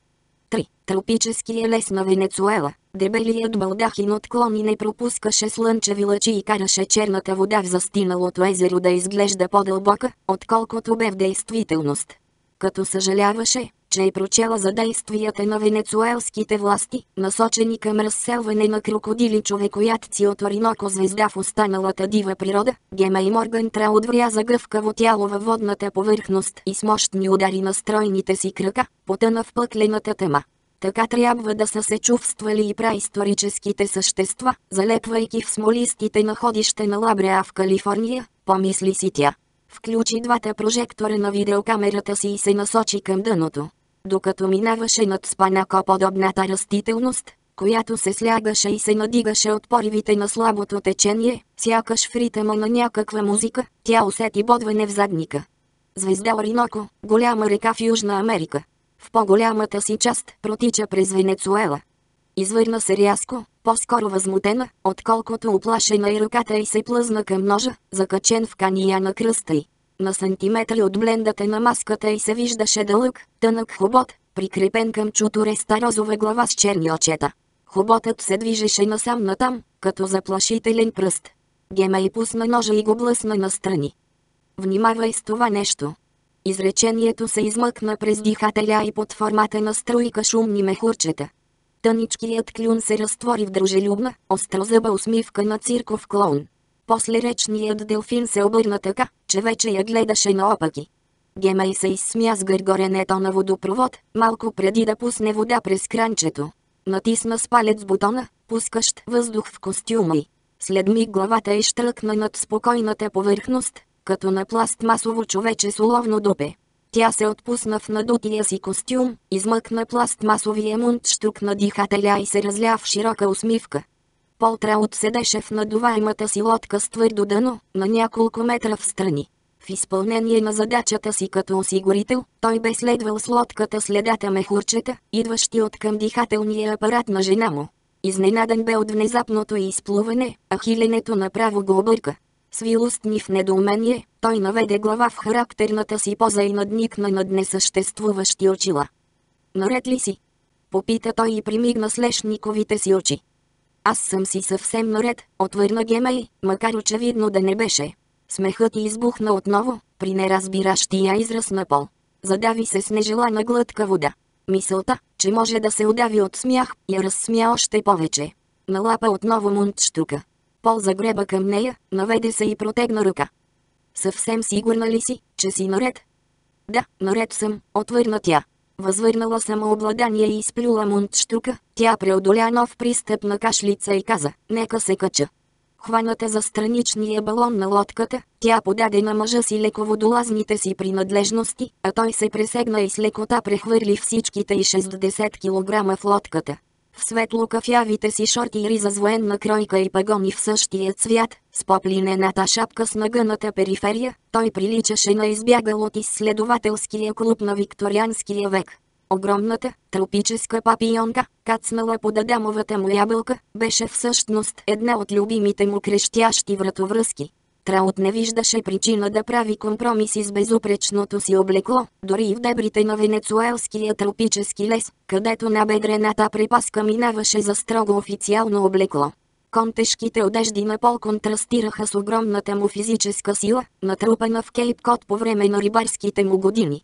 Твърдите като раковини мазоли си бяха отишли от дланите му, но натрупаните от мъкнене на рибни каси мускули изпъкваха под безупречното му облекло, а и той много добре знаеше как да използва мощта на двуметровия си корпус. Дълбокомерът показва едва 9 метра, така че веселбата не е резултат от азотно опиянение, отбеляза той с типичния си аналитичен подход. Гемай развърза дългата си до раменете коса, чието тъмно-червен цвят бе вдъхновил почитащия виното нейн баща да я назове с името на един сорт грозде от Френската област, Божоле.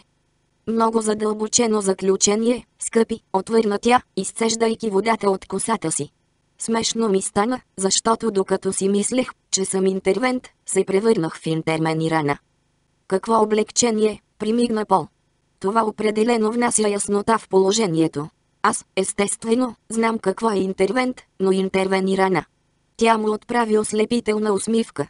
Сирано звезда, делфинът, ме издебна и ми удари един нос. Звезда Сирано, герой от произведението Сирано Дио Бержерак с автор Едмон Ростан. Сирано е дългонос и грозноват романтик, снежна и влюбчива душа. Не мога да му се сърдя, огледа той похотливо тяло издигнати като на Граучо Маркс звезда вежди. Звезда Граучо Маркс, американски комик, известен предимно от периода на нямото кино. Мама винаги ми е казвала да внимавам с мъже, които носят папионки и си сресват косите на път. Аз не съм ли ти казвал, че приличаш на Лорен Хътън? Попита той с павкане на въображаема пура. И че много ме привличат жени с такова секси разстояние между резците. На бас, че разправяш това на всяка, парира Гемей, като придаде най-без ниския си тембър дрезгавостта на Майлест. Лекото, любовно клъване на Сирано имаше за мен научна стойност.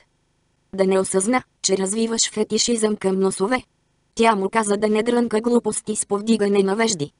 Не, макар да не изключвам такава възможност. Научих, че речните делфини може и да са по-назад в развитието си от своите соленоводни братовчеди и като цяло, по-мекошави от морските си роднини, но са интелигентни, игриви и имат чувство за хумор. И ти щеше да имаш, ако беше боядисана в розово и сиво, ако в плавниците ти ясно се очертаваха пръсти, на гърба си носеше перка, която сама по себе си е чиста смешка и ако главата ти приличаше на смачкан пъпеш. Не лоши биологически наблюдения за един дълбоководен геолог. Радвам се, че мога да бъда полезен.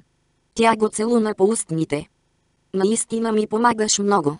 Цялата тая работа по компютърния профил на речното русло. Беше приятно разнообразие. Почти съжалявам, че трябва да се прибираме. Поло гледа спокойното обкръжение. И на мен ми хареса, всъщност. Това място напомня средновековна катедрала. И животните бяха много мили макар да не съм убеден, че ми харесват волностите, които си позволяват с на жена ми. Отношенията ни с Сирано с чисто платоничен характер, вдигна надменно брадичка Гемей. Той просто искаше да привлече вниманието ми, заради което аз ще го нагостя. Ще го гостиш. Ще го нагостя с риба. Тя удари няколко пъти с веслото по балона на лодката. От към мястото, където лагуната се сливаше с реката се чу плясък.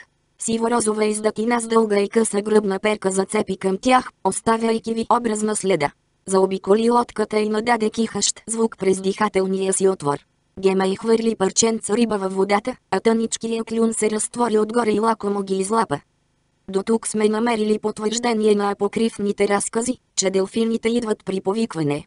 Мога да си представя и как помагат при риболов, съгласно разказите на туземците. Освен това, ти доказа и че си рано се справя много добре с твоята дресура, имаща за цел да му осигурява прехраната.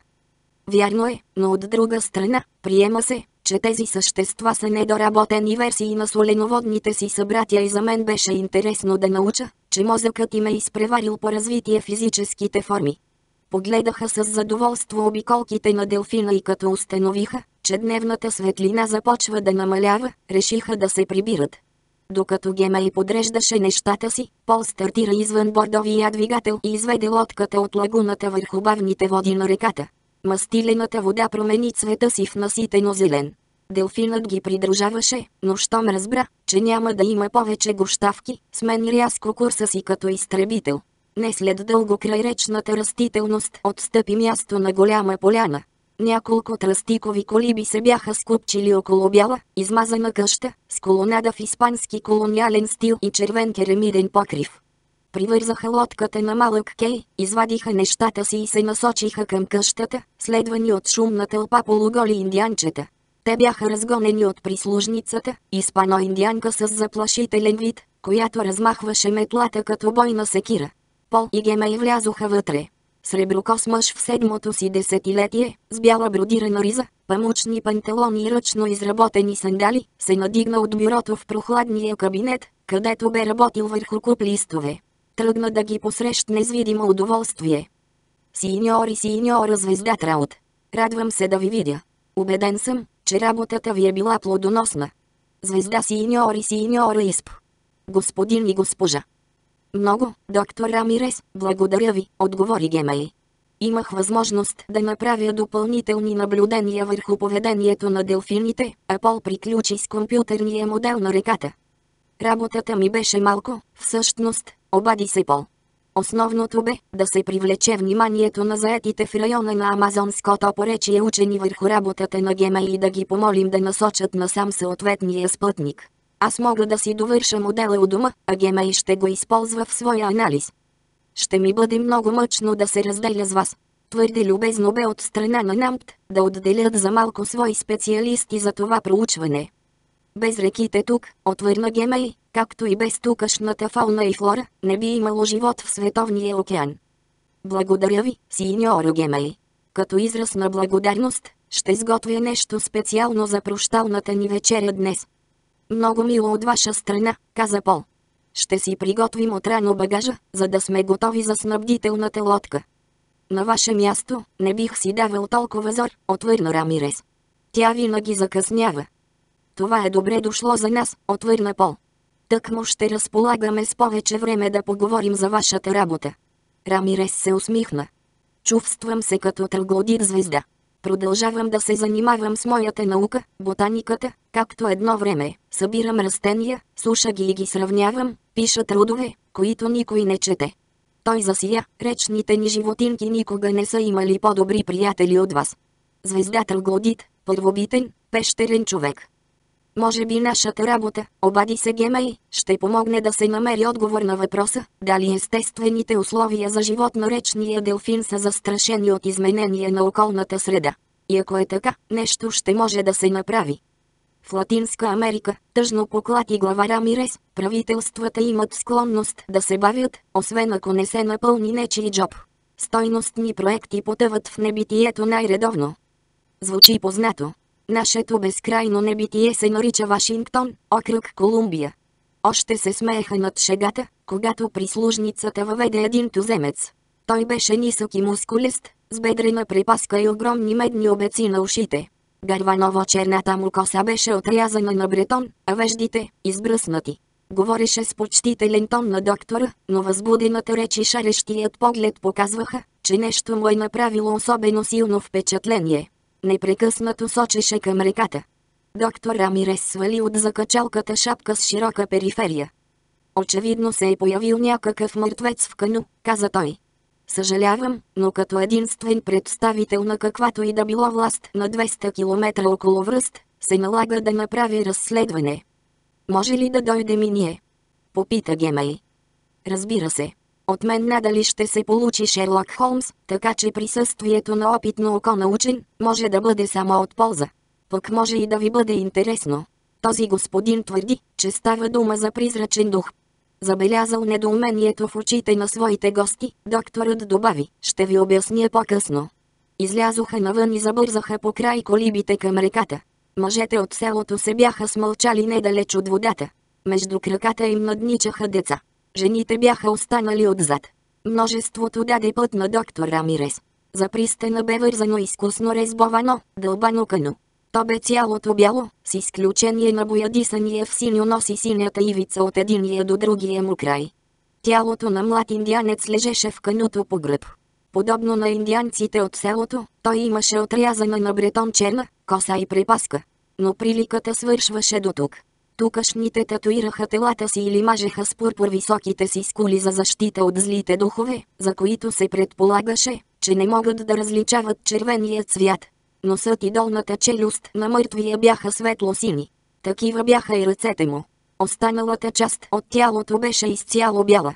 Когато доктор Рамирес се надвеси над кануто, сянката му изплаши скупчилите се върху гърдите на трупа мухи и те отлетяха, за да заине кръгла дупка.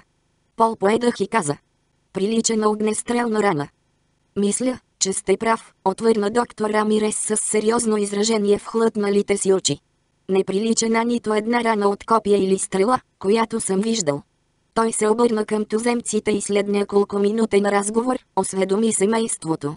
Казват, че ловели риба, когато кануто се появило отгоре по течението. По цветовете му разбрали, че е лодка на призрачен дух и се оплашили. Изглеждало празно и те го доближили видели мъртвеца и си помислили просто да го оставят на течението. После решили, че може духът му да се върне и да ги накаже, задето са му отказали прилично погребение. Затова го докарали тук и го направиха мой проблем. Защо трябва да се страхуват от този призрачен дух? Поинтересува се Гемей. Докторът подръпна крайчеца на буйния си, сив мустак. Чуло, както наричат местните племето, към което принадлежи този мъж, живее над големите водопади. Според тукашните, то се състои от призраци, родени от водната мъгла. Никой, навлязъл в тяхната територия, не се е завърнал. Той посочи канюто. Както сами виждате, мъжът е от плът и кръв, като всички нас. Докторът се пресегна и извади от канюто турба от нещавена кожа, лежала до момента до мъртвеца. Туземците се дръпнаха, сякаш държеше чувал с бацили на черна чума. Докторът заговори на испански един от индианците, който ставаше все по-неспокоен с течение на разговора. Рамирес прекрати рязко разговора и се обърна към семейство Траут. Страх ги е от него, каза той, и наистина мъжете се бяха върнали при жените си. Ако бъдете така любезен, можем да извлечем кануто на брега. Убедих ги да изкопаят гроб, но не в тяхното гробище. Ще бъде отсреща, на другия бряг, където никой не ходи, така или иначе. Шаманът пък обеща да наслага достатъчно на брой тотеми звезда около гроба, та да не позволи на духа да тръгне да скита. Усмихна се, този наблизо заровен труп ще даде на шамана допълнителна власт. Ако нещо заклинанията му не вършат работа, винаги може да обвини за това духа на мъртвия. Ще пуснем лодката по течението и духът ще може да я последва. Звездато тем, животно, по-рядко растение, почитано в раннородовото общество като родоначалник на племето и въздигнато в култ.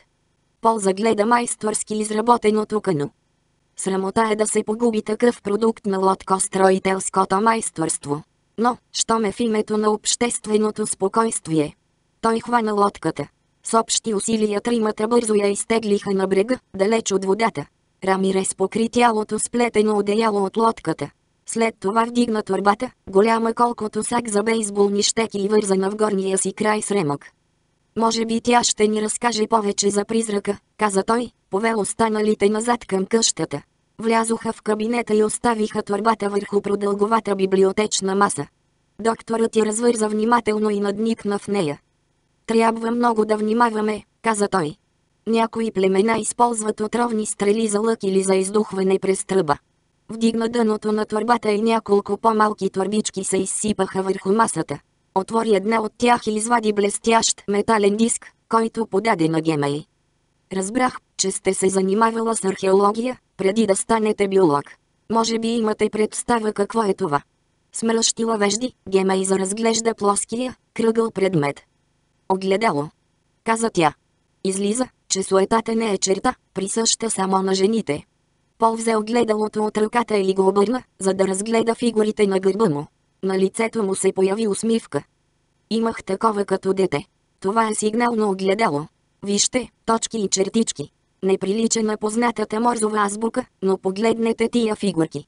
Това е код. Тази тичаща фигура може да означава ела, а тичащата в обратна посока – бягай. А тук имаме легнала фигура. Остани на мястото си, предположи Гемей. И аз така мисля. Тия тук, двамата с копия, може би означават ела да ми помогнеш в битката.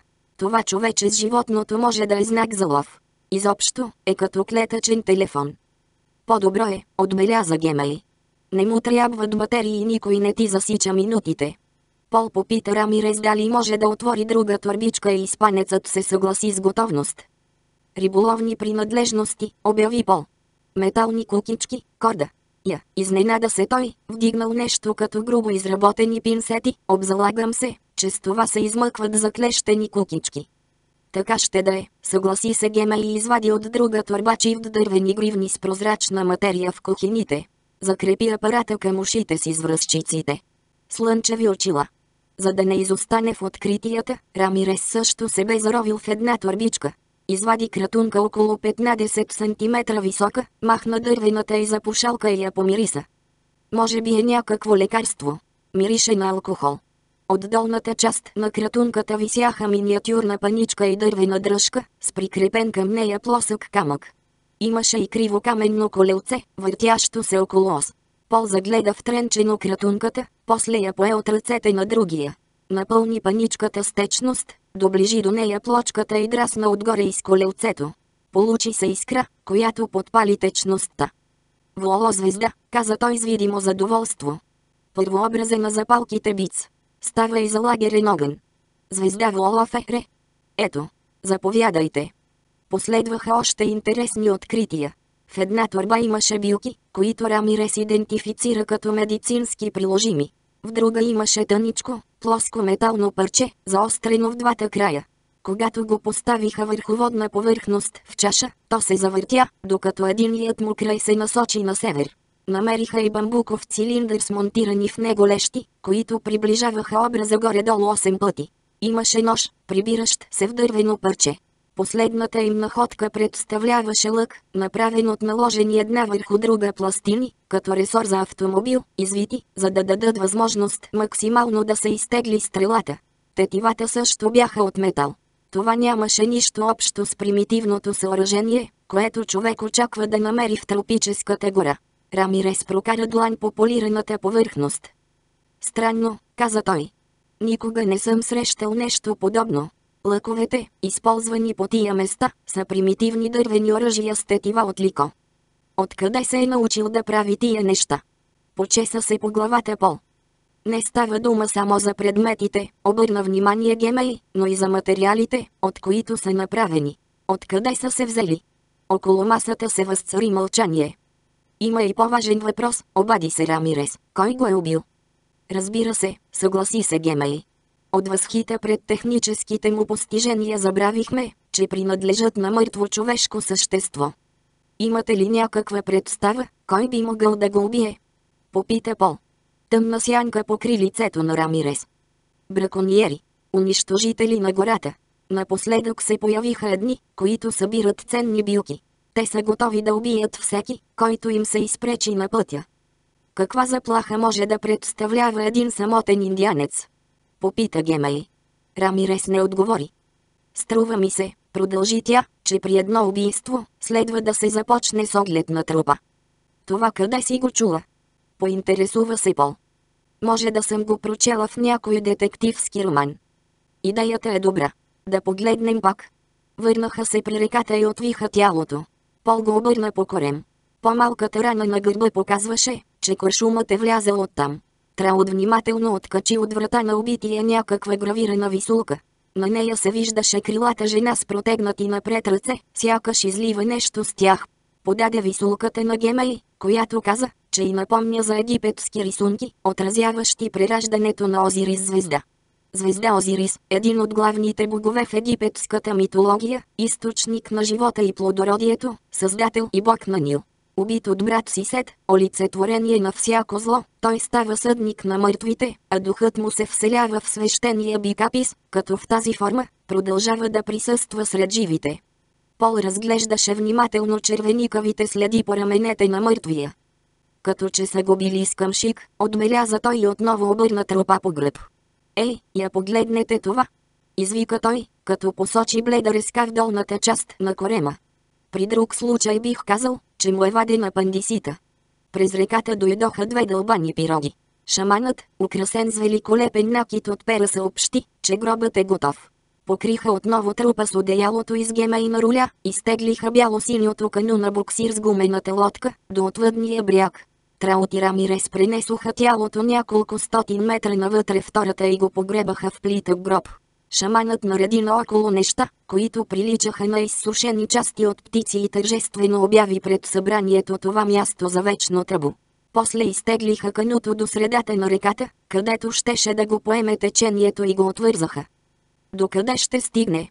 Попита Пол, докато бяло-синият съд поемаше под погледите им последния си път.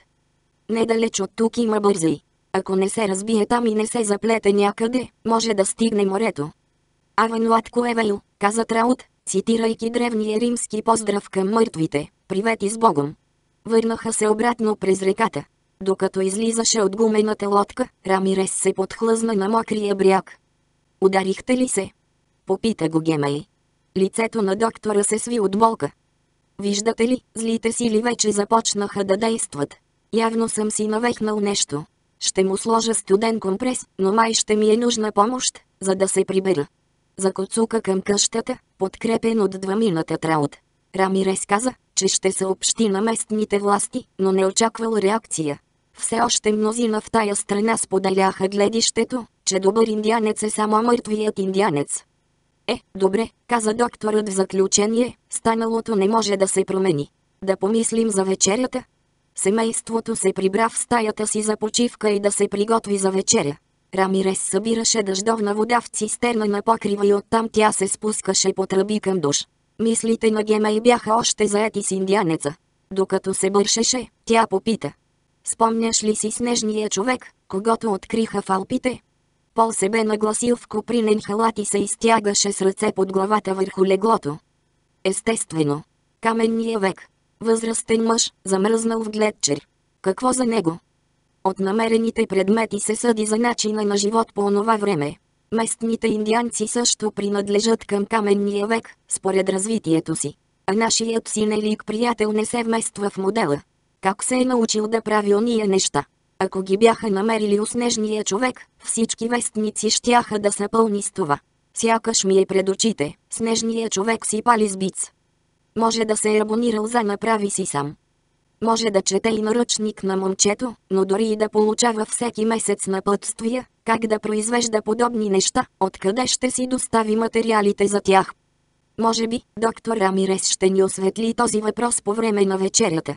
Надявам се, да си гладна, добави Пол, загледан през прозореца. Умирам от глад. Защо? Току-що двама туземци донесоха един тапир при скарата. 4. Ужасна смрад се заби в ноздрите на Остин, когато влезе през огромната врата на един хангар във военното пристанище на Сан-Диего. Тя се носеше от трите левията на звезда, чието трупове лежаха върху специални платформи под ярката светлина на прожекторите. Застаналият от вътрешната страна на вратата млад моряк забеляза приближаването на широкоплещия мъж с странен цвят на косата и повластното му излъчване го определи като облечен в цивилни дрехи офицер. Когато Остин отиде да се представи, морячето застана мирно и доложи. Звезда Левиатан, огромно същество, описвано на няколко места в Библията, възприемано различно, като кит или змей. Матрос Каминкс, сър. Може би ще ви трябва това. Подаде му хирургическа маска, подобна на маската, която сам бе нахлузил. Миризмата се засили особено много, откакто започнаха да вадят вътрешните органи. Остин благодари на морячето, като се питаше кому ли се бе набило в очите, за да си заслужи такава смръдлива служба и постави маската на носа си. Тя бе напоена с ароматизиран дезинфектант, който не бе в състояние да отстрани миризмата, но потискаше естествения позив към повръщане. Какво си имаме тук? Попита Остин. Мама, татко и бебе, отвърна морячето. Господи, какъв зор беше, докато ги довлечем тук. Морякът не преувеличаваше. Окончателният брой на мъртвите китове се оказа 14. Да се отърве човек от тях си беше тежка задача, даже и да нямаше допълнителни боричкания около случая. Като първа държавна институция, натъкнала се на проблема, бреговата охрана, загрижена за навигационните опасности, реши да ги извлече в открито море и там да ги потопи с оръдейна стрелба.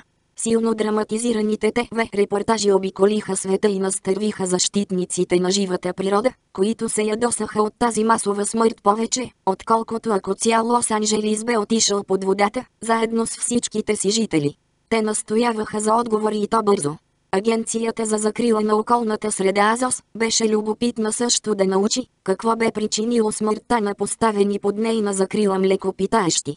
Градът Сан-Диего се поболя от перспективата, огромни, вонящи трупове да доплават до неговите плажни ивици, марини звезда, пръснати по брега къщи и хотели. Кметът се обади по телефона на местния конгресмен, който се случи член на комисията по бюджета на военноморските сили и компромисът беше постигнат с удивителна бързина. Три кита щяха да бъдат изкарани на брега за некротомия звезда-звезда. Останалите ставаха мишени в открито море. Гринпис звезда звезда звезда протестира, но докато изпрати морските си единици, труповете станаха на парченца китова мас, под грохота на морските оръдия. Звезда Марина, обособена част от или специално изградено пристанище за нуждите на неголеми, обикновено построени с развлекателна цел, плавателни съдове.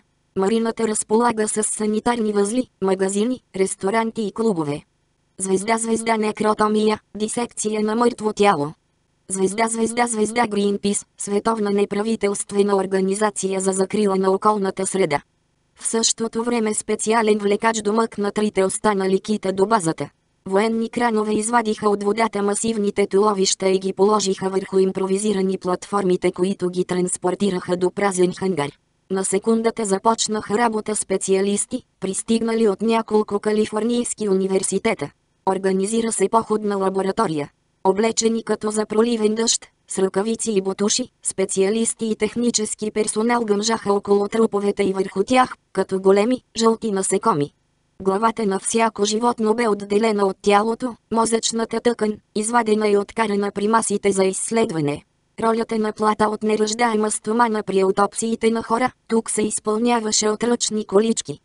Не е точно като при мозъчна хирургия, а Отбеляза Остин, заслушан в звука на електрическите триони, отекващ от металните стени на хангара. Не, сър, отвърна морячето. Много ще се радвам, когато всичко това свърши. Да се надяваме, че ще е скоро, матрос. Остин се зачуди, какво го бе накарало да излезе от удобната си хотелска стая и да се домъкне в тая гадна касапница. Ако състезанието не се бе провалило, спечелил или не, сега щеше да си пие шампанско в компанията на останалите състезатели и цяла сюрия красиви жени, които кръжаха около участниците в него, като живописни пеперутки. Извадиха внушителен брой бутилки, но празненството бе помрачено за Али, Кърт и техните партньори. Али се появи с италиански модел от едната страна и френска госпожица от другата. Въпреки това, не изглеждаше особено щастлив. Остин му изтръгна една усмивка с заявлението, че иска отново да се състезават и то скоро.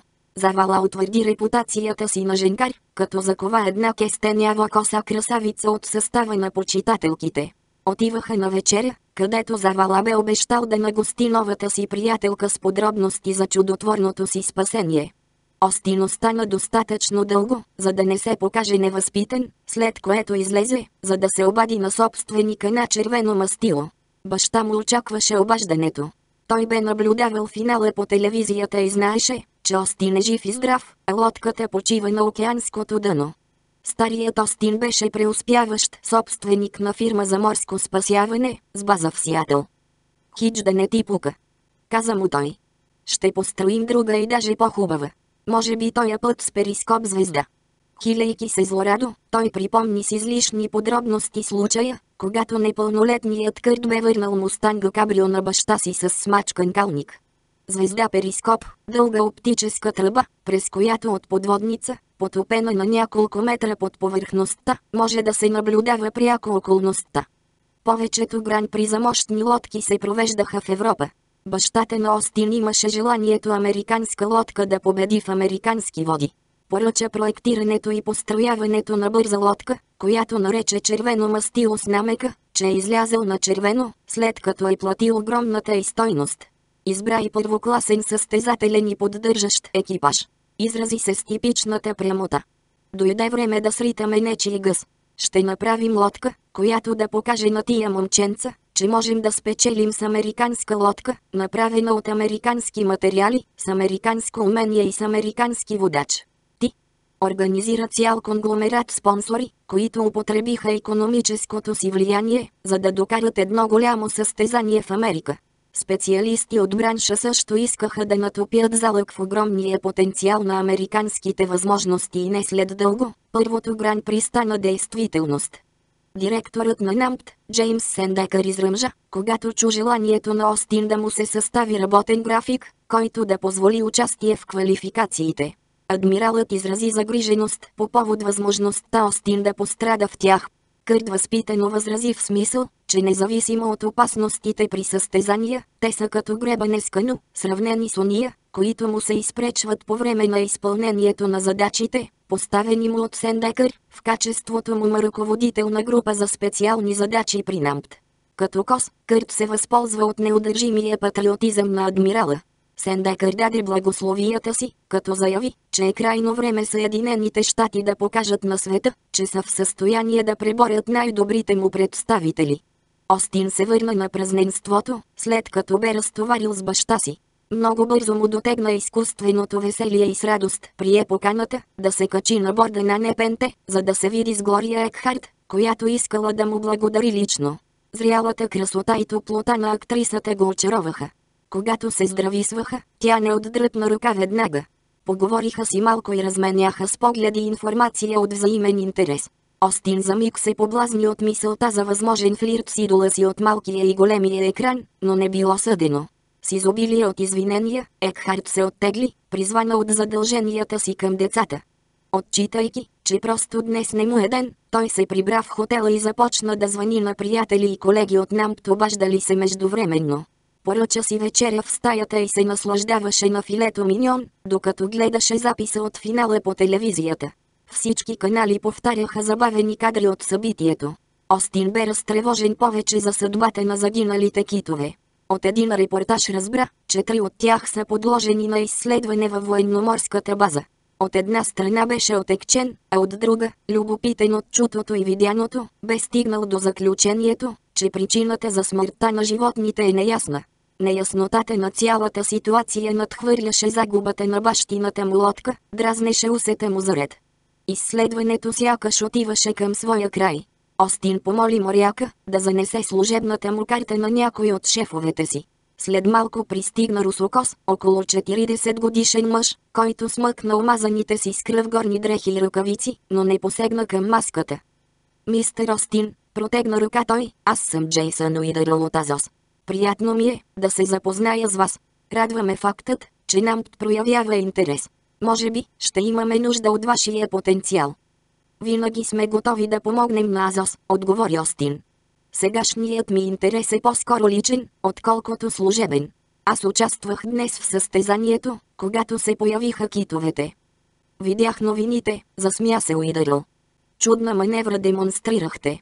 Съжалявам за лодката. Благодаря. Питам се, дали сте установили причината за смъртта? Естествено, всичките са измрели от не. Моля. Не, не, ухили се Уидърл. Нямам никаква представа. Остин се усмихна търпеливо. Беше му известно, че понякога патолозите развиват подобно безумно чувство за хумор, с цел да си запазят ума. А някакви предположения. До тук сме се убедили, че нямат травми, не е отравене. Взели сме тъкани за вирусно изследване, но за сега – нищо. Един от тях се е оплитал в рибарска мрежа, но това не му е попречило да се храни, нито го е наранило по друг някакъв начин. Значи, поне за сега, не знаете от какво са умрели. О, знаем. От задушаване. Имали са тежки белодробни увреждания, предизвикали пневмония. Дробовете им изглежда са били изложени на висока температура. Температура. Май не успявам да следвам мисълта ви. Ами вижте, били са отчасти сварени отвътре, а и по кожата имаше мехури. Какво би могло да доведе до такива наранявания? Не, не, пе, отговори Уидърл и свира мене. Остин се замисли над този отговор. Ако не знаете как, знаете ли кога? Много е трудно да се каже. Може първоначалната агресия срещу организма да не е била фатална. Може бозайниците да са се разболели няколко дни преди да стигнат нашия бряг, но да са продължавали придвижването си. Най-зле са пострадали малките и може възрастните да са ги изчаквали. Трябва да отчетете и времето, необходимо за развитие на процеса на разлагане до степен, гнилостните газове да извадят труповете на повърхността. Значи, не е възможно да се проследи пътя им, за да се разбере къде са загинали. Трябва да се знае маршрута, местата за хранене, скоростта и тази на теченията, разбира се. Жалко, че самите те не са в състояние да ни съобщят, къде са ходили. Уидърл се усмихна. Кой казва, че не могат? Елате, ще ви покажа нещо. Представителят на Азос тръгна напред, по край огромните платформи, заобикаляйки локвите кървава вода, гонена с мъркучи към каналите. Близо до труповете, смъртта удреше като сбоен чук, но Уидърл сякаш не й обръщаше внимание. Ето го мъжкарят, каза той и спря пред първия труп. Разбирате, защо ги наричат сиви китове.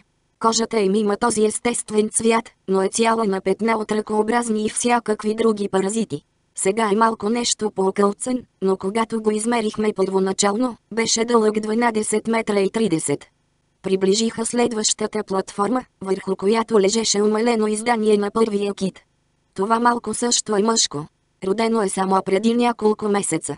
Имаше и други, така че не знаем чие е бебето. Спрели бяха пред последната платформа. Тя е по-голяма от мъжкара. Както и при останалите, и тук липсват външни белези от някакво насилие. Но това може би ще ви заинтересува. Той поиска нож, качи се на платформата и се засуети около плавника на животното. След малко скочи долу и показа на Остин правоъгълна, бяла котия, направена от метал и пластмаса. Предавател. Попита Остин. Всяко движение на момичето се е проследявало от спътник, отвърнал Уидърл.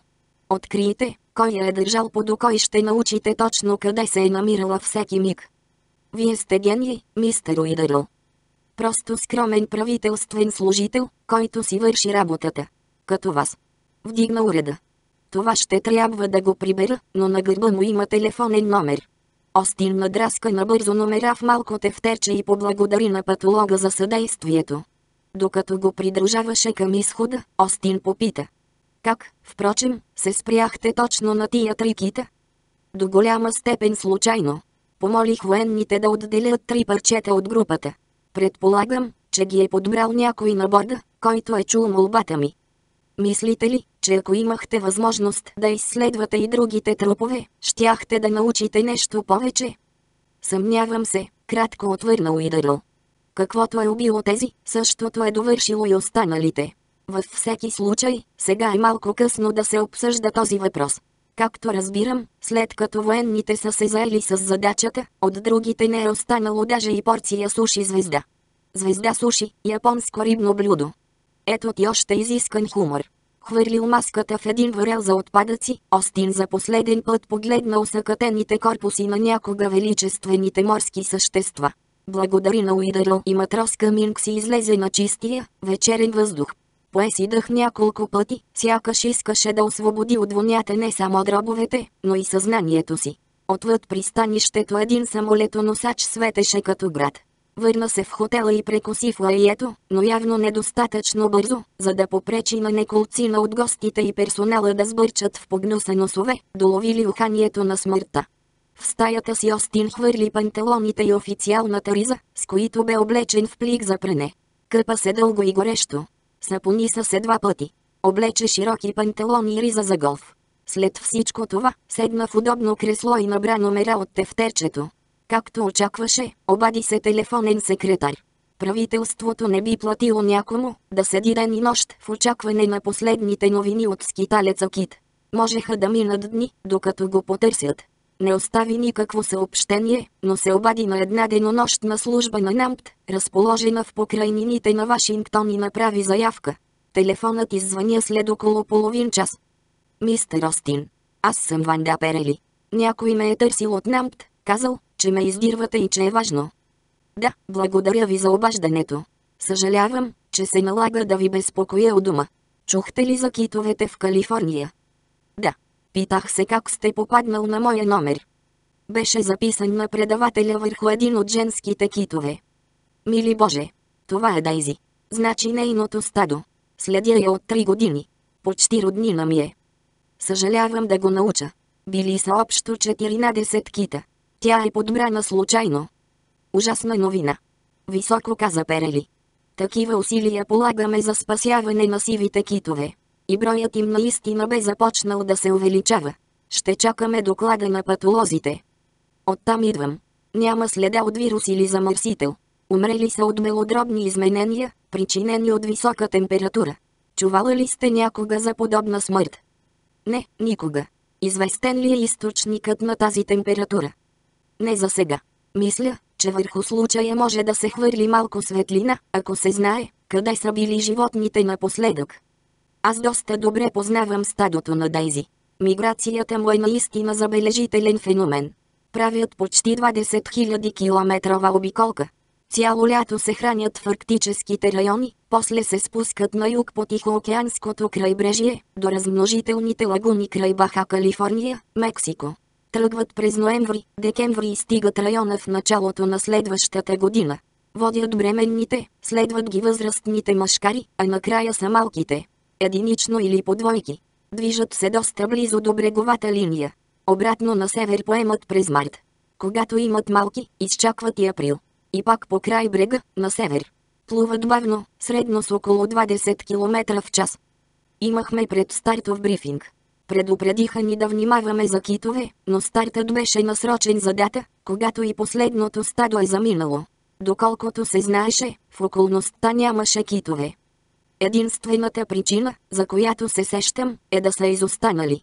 Може би някой от малките се е разболяло и са го чакали да се оправи. Патологът излезе с същата теория. Документирала ли сте миграцията им? Да. Имате ли лаптоп? Не мърдам без него. Добре. Дайте ми адреса на електронната си поща. Веднага ще получите информацията. Благодаря, не можех и да мечтая за по-голяма услуга.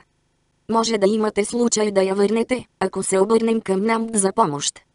Търсете мен лично и ще видим какво може да се направи. Благодаря. О, господи, още не мога да повярвам за Дейзи. Остин прекъсна, включи своя лаптоп към телефонната линия и след 15 минути отвори имейла. Появи се карта на западната част на САЩ, Канада и Аляска. Пунктирана линия тръгваше от Чукотско море, през Берингово и после по край северноамериканското крайбрежие, до върха на източения като пръст полуостров Баха.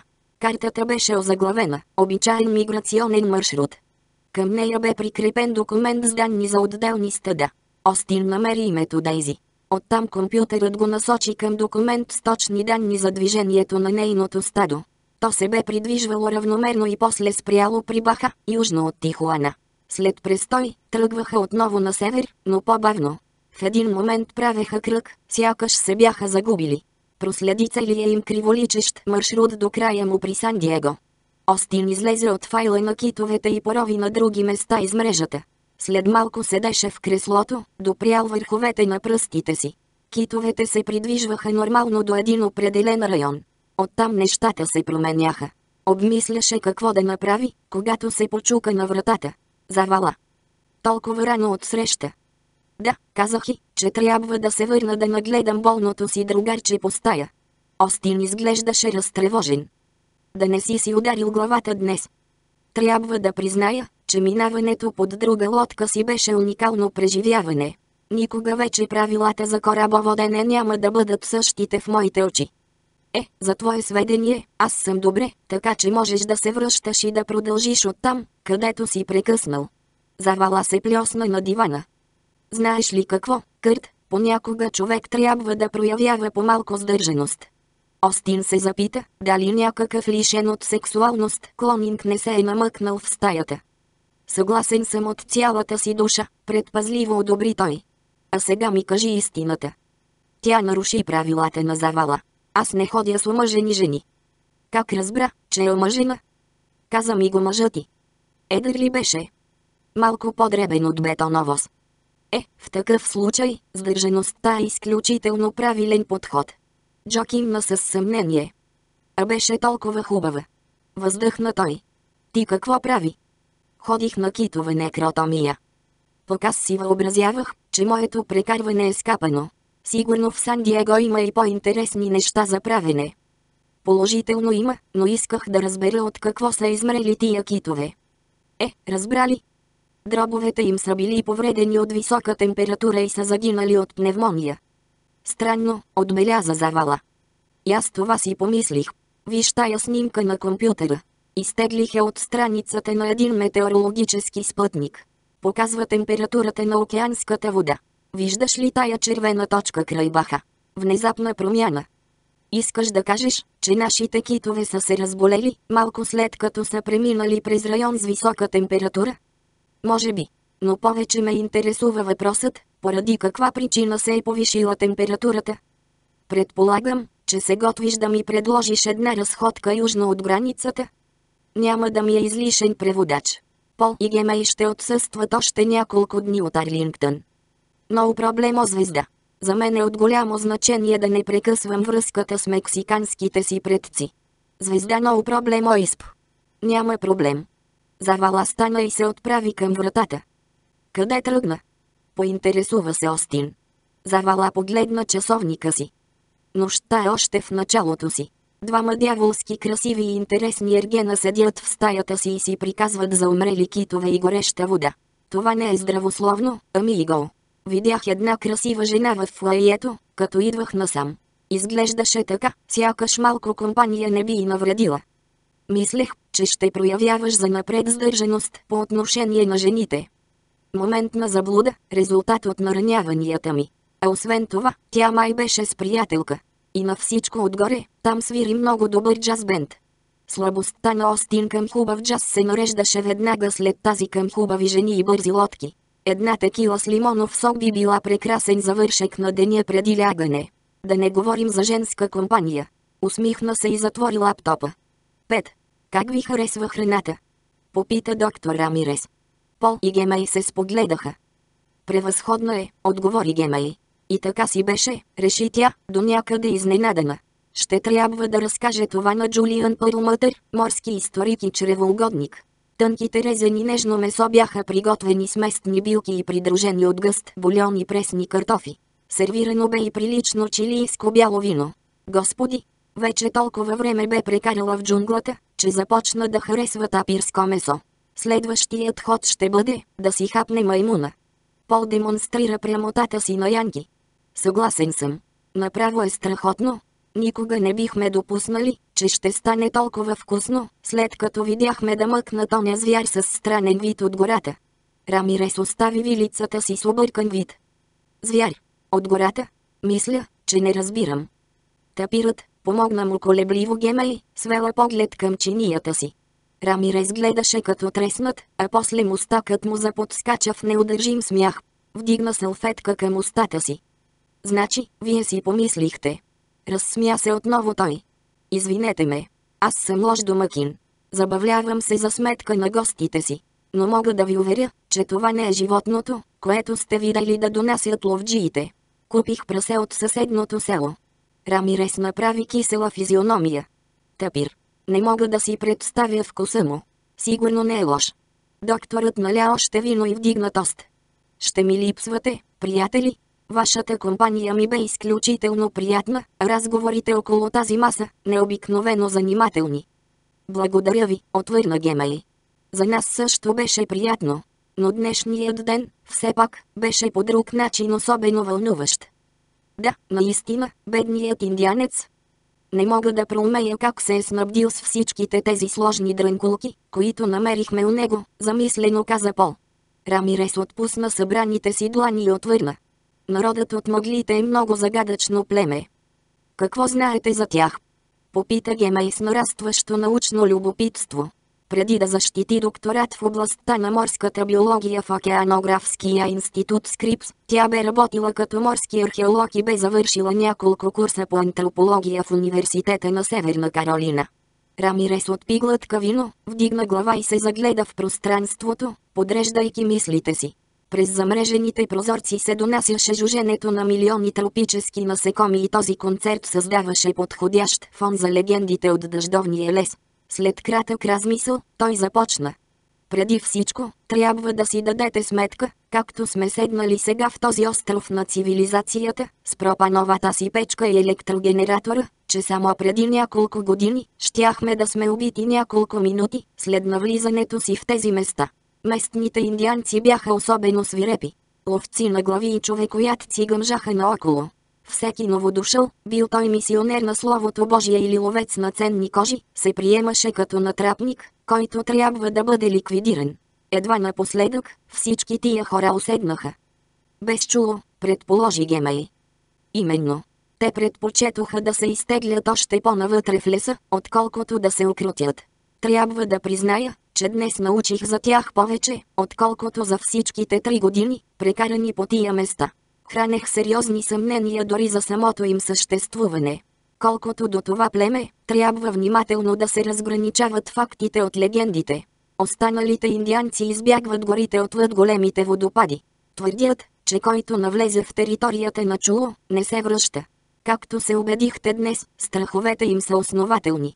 Такива са оскъдните факти. А легендите? Попита Гемей. Може ли да стават невидими, отвърна Рамирес с усмивка. Може ли да летят и да преминават през твърди прегради? По-скоро били призраци или духове, отколкото хора. Не може ли да бъдат убити с обикновени оръжия? Огнестрелната рана, която видяхме, ще сложи край на тази част от митологията, отбеляза Пол. Така изглежда, съгласи се Рамирес. Има и друга, още по-интригуваща легенда, според която племето е матриархално. Ръководи го жена. По-скоро, богиня. Амазонка. Предположи Гемей. В отговор Рамирес извади от джоба си някакъв предмет. Беше висулката от врата на убития. Може би това е нашата крилата богиня. Казват, че грижата и за племето е пословична, а мъстай, страховита. Онази, на която трябва да се подчиниш, произнесе с драматичен глас Гемей. Моля. Цитат, усмихна се тя. От приключенска книга, която четох като малка. За една богиня от джунглата, живяла хилядолетия, без да остарява. Пол пое висулката и я разгледа. Богиня или не, каза той, не си е свършила добре работата, от гледна точка на днешния туземец. Лицето на по-възрастния мъж помръкна. Да, но от друга страна. Нещо лошо ли е станало? Попита Гемай. Малко съм разтревожен. Един от селото идва днес при мен. Казва, че в гората има беда. Каква беда? Попита Пол. Не можеше да ми каже точно. Имало нещо общо с убития индианец. И как така? Очуди се Гемей. И аз не знам. Докторът направи малка пауза. И в настоящия момент в гората се убиват живи същества. Насекоми, животни и птици са заети с непрестанна борба за оцеляване. Но в целия този кървав хаос, цари едно равновесие. Дълбоко разположените му очи изглеждаха още по-тъмни. Опасявам се, че убийството на индианеца е нарушило това равновесие. Може би, амазонската богиня се готви да ни стовари своето отмъщение, каза Пол, като връщаше висулката. Рамирес я залюля на пръста си, като някакъв свенгали звезда в хипнотичен сеанс. Звезда Свенгали, герой от романа Трилби на Дюморие. Унгарски музикант, под чието хипнотично влияние, моделът Трилби се превръща в световно известна певица. С смъртта на Свенгали, тя загубва дарованието си. Като представител на науката, аз трябва да боравя с факти. Факт е, че някъде там, в гората се разхожда човек с пушка и не се колебае да я използва. Или индианецът е напуснал своята територия, или някой въоръжен е нахлул в нея. Имате ли някаква представа, що за човек би могъл да е той? Попита Гемей. Може би. Знаете ли нещо за каучуковата индустрия? И двамата поклатиха глави. Преди 100 години каучукови дървета са расли само в джунглата на Амазонския басейн. Тогава британски учен открадва семена, за да организира огромни плантации от каучукови дървета на изток. Същото става и сега. Шаманът, който участва с нас в днешната траурна церемония, си пада малко шмекер, когато става дума за гонене на зли духове, но той познава лечебните свойства на хиляди горски растения. Тук пристигат разни хора и се представят за учени, а всъщност са си пирати, дошли да търсят ценни билки. Продават патенти на големите мултинационални фирми за производство на лекарства. Понякога работят пряко за тях. И в двата случая, компаниите правят цели състояния, докато туземците, запазили векове наред тези знания, остават с пръст в устата. И още по-лошо, понякога такива хора идват и направо отмъкват билките. Смятате, че някой от тях е измъчвал и убил индианеца? Попита Пол. Напълно е възможно. Когато става дума за милиони, животът на един беден индианец не означава нищо. Не знам защо са го застреляли. Може просто да е видял нещо, което не е трябвало да вижда. Тези тайни се пазят от много поколения. Правят ли се опити да се спре пиратската дейност? Попита Гемей. Не е лесно. Понякога правителствени чиновници влизат в сговор с компаниите. Залозите са много високи. Правителствата малко се интересуват от съдбата на туземците. За тях е по-важно, как да продадат генетичните им тайни на най-висока цена. Значи, пиратството си върви необезпокоявано? Не напълно. Университетите изпращат групи верни учени, които да проследяват бандитите. Те самите извършват научно-изследователска дейност, но същевременно научават от индианците, дали не се навъртат наоколо лица с необичайни въпроси. Бразилските ни съседи правят опити да пресекат този вид грабеж чрез съда. Там заведоха дело срещу учен, който каталогизирал семена и дървесни кори, използвани за лечебни цели и му предявили обвинение за кражба на племенна интелектуална собственост. Нелека теза за отстояване в съда, отбеляза Пол. Съгласен съм. В Бразилия се мъчат да прокарат и закони в защита на биологическото многообразие, така че напредваме по-малко, но трудно. Става дума за борба с корпорации, разполагащи с милиарди долари. Двубоят е неравен. На Гема и хрумна нещо. А вашият университет работи ли по въпроса? Да, отговори докторът. От време на време идват екипи. Но за пълноценна полицейска работа парите не стигат. Това не беше отговорът, очакван от Гемей, но тя не настоя. Бих искала да ви помогнем по някакъв начин. Има такъв, широко се усмихна Рамирес. Ще ви помоля за една услуга, но не се чувствайте длъжни да я изпълните. Ами, опитайте, приветливо предложи Пол. Добре. На няколко часа път нагоре по течението има друго селище. Живеещият там холандец не разполага с радио. Но може и да е чул нещо за убития чуло. При всички случаи, трябва да е информиран, възможни са всякакви последици. Докторът протегна крак. Глезенът му беше скрит под дебела превръзка. Аз едва се движа. Не мисля, че има счупване, но е зверски навехнато. Питах се, дали не бихте отишли вместо мен. Можете да отскочите на бърза ръка. Ами снабдителната лодка. Попита Гемей. Очаква се да пристигне късно утре. Ще пренощува. Ще се върнете, преди да потегли обратно. Не виждам защо да не го направим, започна Гемей, но беше спряна от несигурността в погледа на съпруга си. Ако, разбира се, Пол няма нищо против. Ами.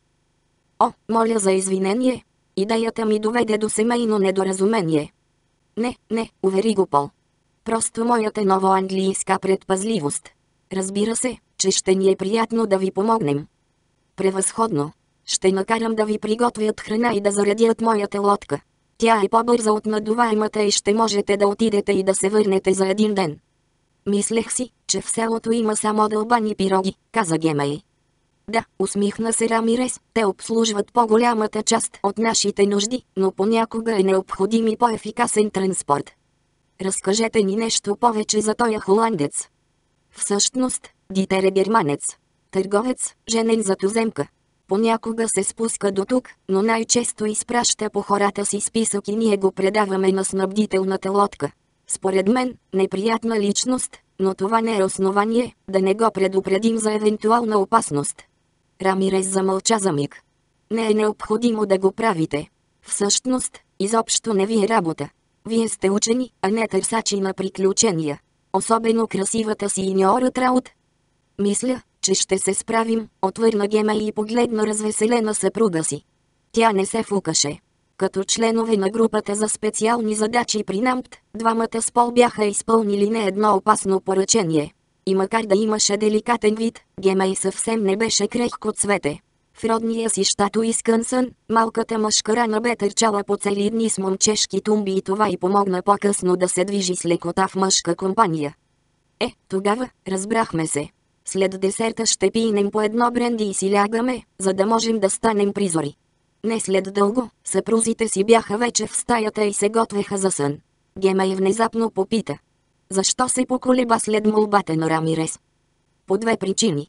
Да започнем с това, че този малък допълнителен излет няма връзка с задачите на НАМПТ. Пол се наведе, за да избегне изпратената към главата му възглавница. От кога си станал такъв почитател на вътрешния правилник на НАМПТ? Поинтересува се Гемей. От когато и ти, всеки път, щом ми изнася. Аз съм поразтягал правила, но никога не съм ги нарушавал. Ами, да и сега да ги поразтегнем мъничко и да приемем, че след като реката е неделима част от Световния океан, всеки намерен в нея труп става автоматически задължителен за разследване обект от страна на НАМПТ и нейната специална група. Трябва ли да ти напомням, че тя беше създадена именно с цел да се рови в проблеми, с които никой друг не желая да се захваща? В рекламата не си зле, но не залага и много на способността си да убеждаваш. Ако не беше предложила да се поровим в тая работа, аз щях да го направя. И по същите причини, бих могъл да добавя, имам фобия към убийства, оставени ненаказани. Аз, имаш ли някаква представа с какво да започнем? Вече разсъждавах по този въпрос. Не позволявай на Кейт Кот ската ми по тайност да те вкарва в заблуда. Няма да го позволя и след 100 години, скъпи. Да се върнем към първоначалният ти въпрос. Причината за колебанието ми беше моята изненада. За първи път Рамирес споменава за своята лодка. Беше ни оставил с впечатлението, че използва дълбани дънери. Помниш ли, колко шумно се възхищаваше на нашата лодчица? Един ден душех наоколо и намерих в една барака лодка на въздушна възглавница. На въздушна възглавница. Надигна се на лакът Гемей. И защо не ми каза? Мисля, че е очевидно. Той не желая някой да знае за нея. Струва ми се, че нашият приятел Рамирес е по-сложна личност, отколкото изглежда. И аз имам такова чувство. Струва ми се, че нещо хитрува с това изпращане на някакви си смотани учени на евентуално опасна мисия. Разправихме му достатъчно за специалната група, за да му стане ясно с какво се занимаваме, когато не броим речните делфини. Мисля, че иска да въвлече Намт в тая история. И ние май му паднахме в ръчичките, но не разбирам защо е целият той макиавелизъм звезда. Звезда макиавелизъм, политическа теория, създадена от флорентинския държавник и мислител Николо Макиавели 1469-1527, която проповядва установяването на силна власт, без оглед на средствата. Включително вероломство, убийство, предателство. Имам една идея, обади се Гемей. Той разправяше нещо за учени, действащи като природозащитна полиция. Той е университетски учен. Някак си се изплъзна от подробности по въпроса. Забелязах това. Пол се изпъна в леглото и затвори очи. Значи, според теб, той е полицай, маскиран като учен? Би могло. Гемей направи малка пауза и продължи. Трябва да призная, че истинският мотив да се заинтересувам от подобно разследване са нещата, намерени у индианеца чуло. Много ми е интересно, откъде един представител на толкова изостанало племе, могат да се появят те. Какво ще кажеш? От другия край на леглото се чуваше единствено шума на равномерно дишане. Пол вкарваше в действие прочутата си дарба да заспива по команда. Гема и поклати глава, придърпа завивката на драменете си и направи същото. Трябваше да станат с слънцето, а предстоящият ден щеше да е дълъг.